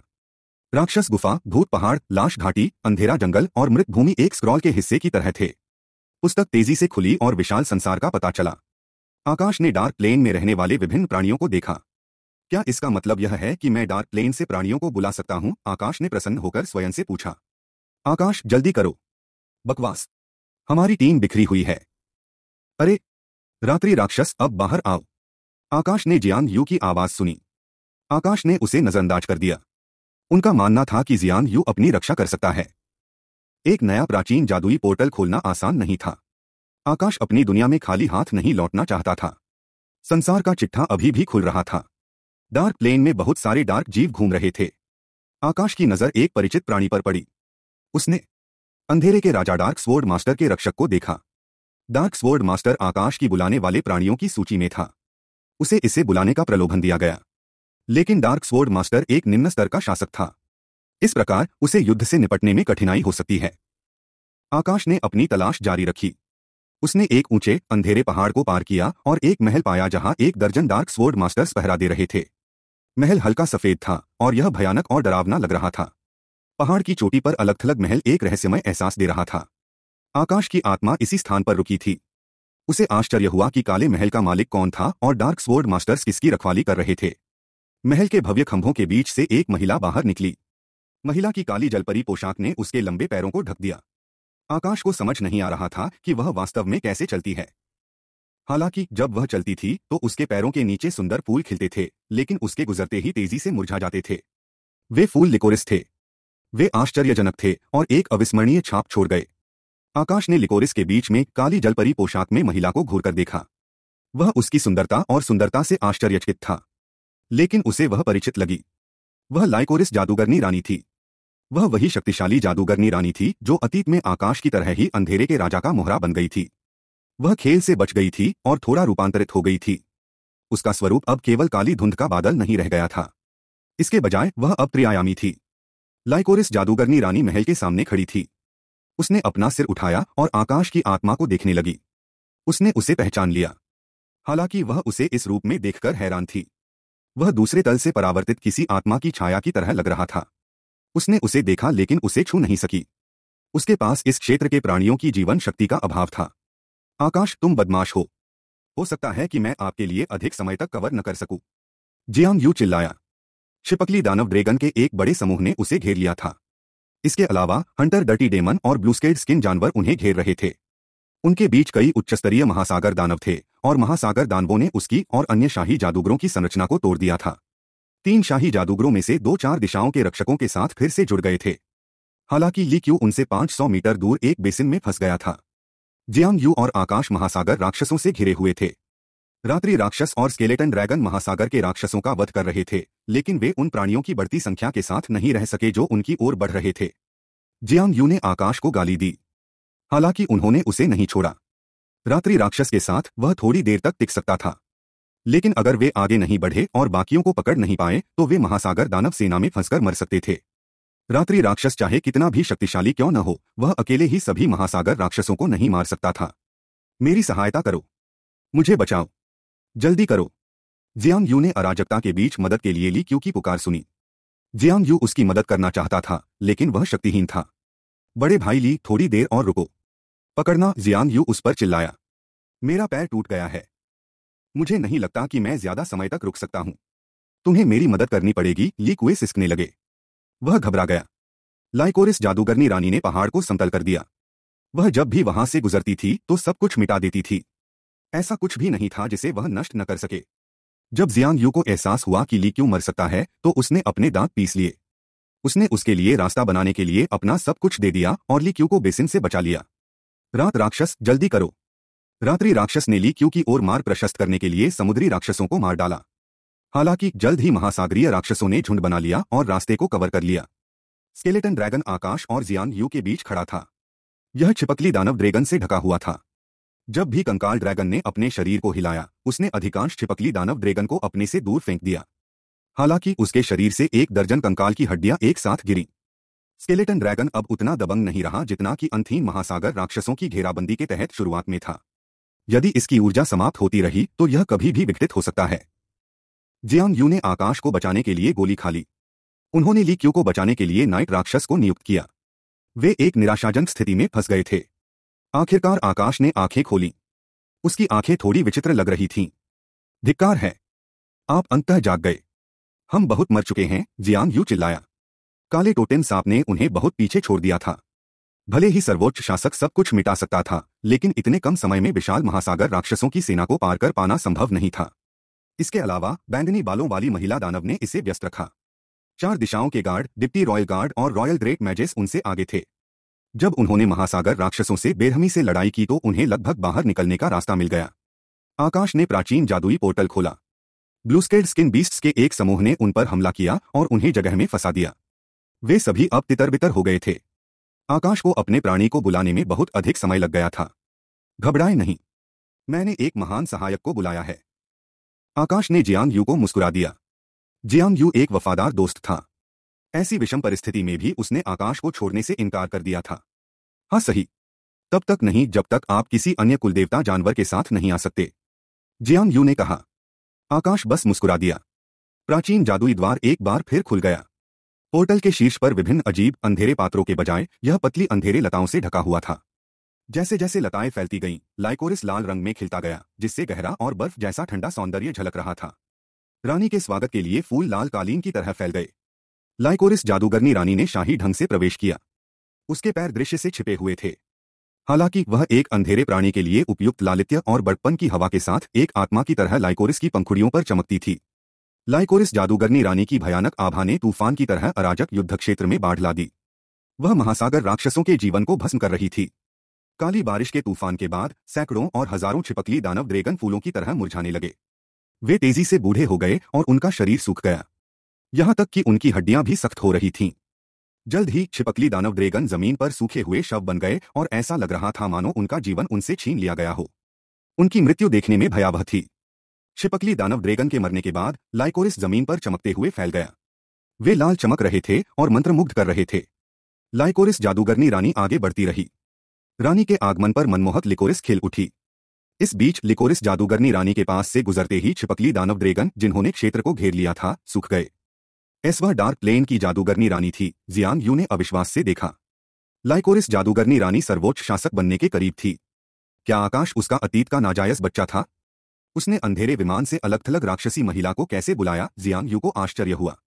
यह उल्लेखनीय है। लाइकोरिस जादूगरनी रानी ने कोई दया नहीं दिखाई। वह अनुबिस की तरह थी जो अंडरवर्ल्ड से उनकी जान लेने के लिए आई थी। जल्द ही कई हज़ार छिपकली दानव ड्रैगन मारे गए। जियांग यू के पास अपनी सांस लेने का समय नहीं था क्योंकि वह छिपकली दानव ड्रैगन सेना से घिरा हुआ था। जब लाइकोरिस जादूगरनी रानी वहाँ से गुजरी और राक्षस सिकुड़ गए तो उसने राहत की सांस ली। जियांग यू आकाश की ओर मुड़ा और उसे अजीब नज़रों से देखा। उसने ऐसा कैसे कर दिया? उसे विश्वास ही नहीं हो रहा था। आकाश लाइकोरिस जादूगरनी रानी जैसी ताकतवर किसी को कैसे बुला सकता है? वह कोई साधारण योगिनी नहीं थी, वह डार्क एफ़ वीन थी। जियांग यू किसी योगिनी रानी को नहीं देख पाया था, किसी को बुलाना तो दूर की बात। तो आकाश ने ऐसा कैसे किया? स्केलेटन ड्रैगन को बुलाने के बाद जियांग यू को खुद पर बहुत गर्व हुआ। उसने सोचा कि उसके सम्मन तत्व की जादुई शक्ति आकाश से अधिक है। हालाँकि, लाइकोरिस जादूगरनी रानी को देखने के बाद जियांग यू को ऐसा महसूस हुआ जैसे वह बाकी महासागर राक्षसों की तरह सूख रहा था। मैं उससे बमुश्किल परिचित हूँ।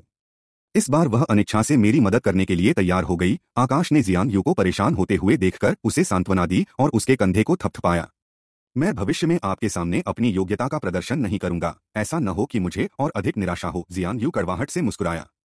जब वे बात कर रहे थे, आकाश ने नाइट राक्षस को छिपकली दानव ड्रेगन के सिर पर तेज़ी से छलांग लगाते देखा। जब भी वह किसी छिपकली दानव ड्रेगन के सिर पर कदम रखती थी तो वह उनकी खोपड़ी को कुचल देती थी। यद्यपि रात्रि राक्षस शक्तिशाली था, फिर भी वह अपने शत्रु को सीधा नुकसान नहीं पहुँचा सकता था। छिपकली दानव ड्रैगन इसे आसानी से नुकसान नहीं पहुँचा सकता था, लेकिन रात्रि राक्षस एक ही बार में सभी छिपकली दानव ड्रैगन को नहीं मार सकता था।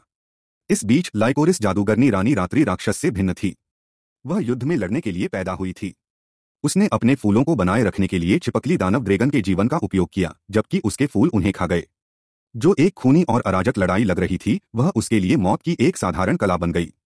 मियाँ रात्रि राक्षस बिजली की तरह तेज़ी से आगे बढ़ा। इसने अपने पंजों से छिपकली दानव ड्रैगन के दर्जनों कंडराओं को तोड़ दिया। इसने उनके टेंडन को धागे में पिरोई हुई सुइयों की तरह खींच लिया और आकाश और जियांग यू के सामने जा गिरा। ली क्यों कहा है? जियांग यू ने घबराकर पूछा। रात्रि राक्षस ने छिपकली दानव ड्रैगन के टेंडन की लंबी डोरियों को खींच लिया। कंडरा की डोरी के सिरे पर मौजूद व्यक्ति को झटका लगा। वह रात्रि राक्षस के बगल में भूमि पर गिर पड़ा। यह ली कुएँ था। उसका पैर बुरी तरह जख्मी हो गया था। उसके घुटने का ढक्कन खुल गया था और वह पीड़ा में था। यह दवाई लो, आकाश ने उसे पार्थेनन मंदिर से उपचार संबंधी चमत्कारी गोलियाँ दी। मेरे घाव को ठीक करने का क्या मतलब है? हम वैसे भी इस जगह को जीवित नहीं छोड़ सकते ली क्यों अपने कष्टदायी दर्द से उदास और क्रोधित था? मैं इसे वैसे भी यहीं छोड़ दूँगा, आकाश ने कहा। बड़े भाई ली, हार मत मानो। हमारे सामने जादूगरनी रानी को देखो। आकाश ने उसे बुलाया और उसने बहुत मदद की। उसने हमारे लिए एक मार्ग प्रशस्त किया है जियांग यू ने लाइकोरिस जादूगरनी रानी की ओर इशारा किया। ली क्यू ने उस दिशा में देखा जो उसने बताई थी और उसे हज़ारों मृत छिपकली दानव ड्रेगन दिखाई दिए। ज़मीन उनकी लोथों से भर गई। ढेर में पड़े शव किसी विशाल कब्रिस्तान की तरह लग रहे थे।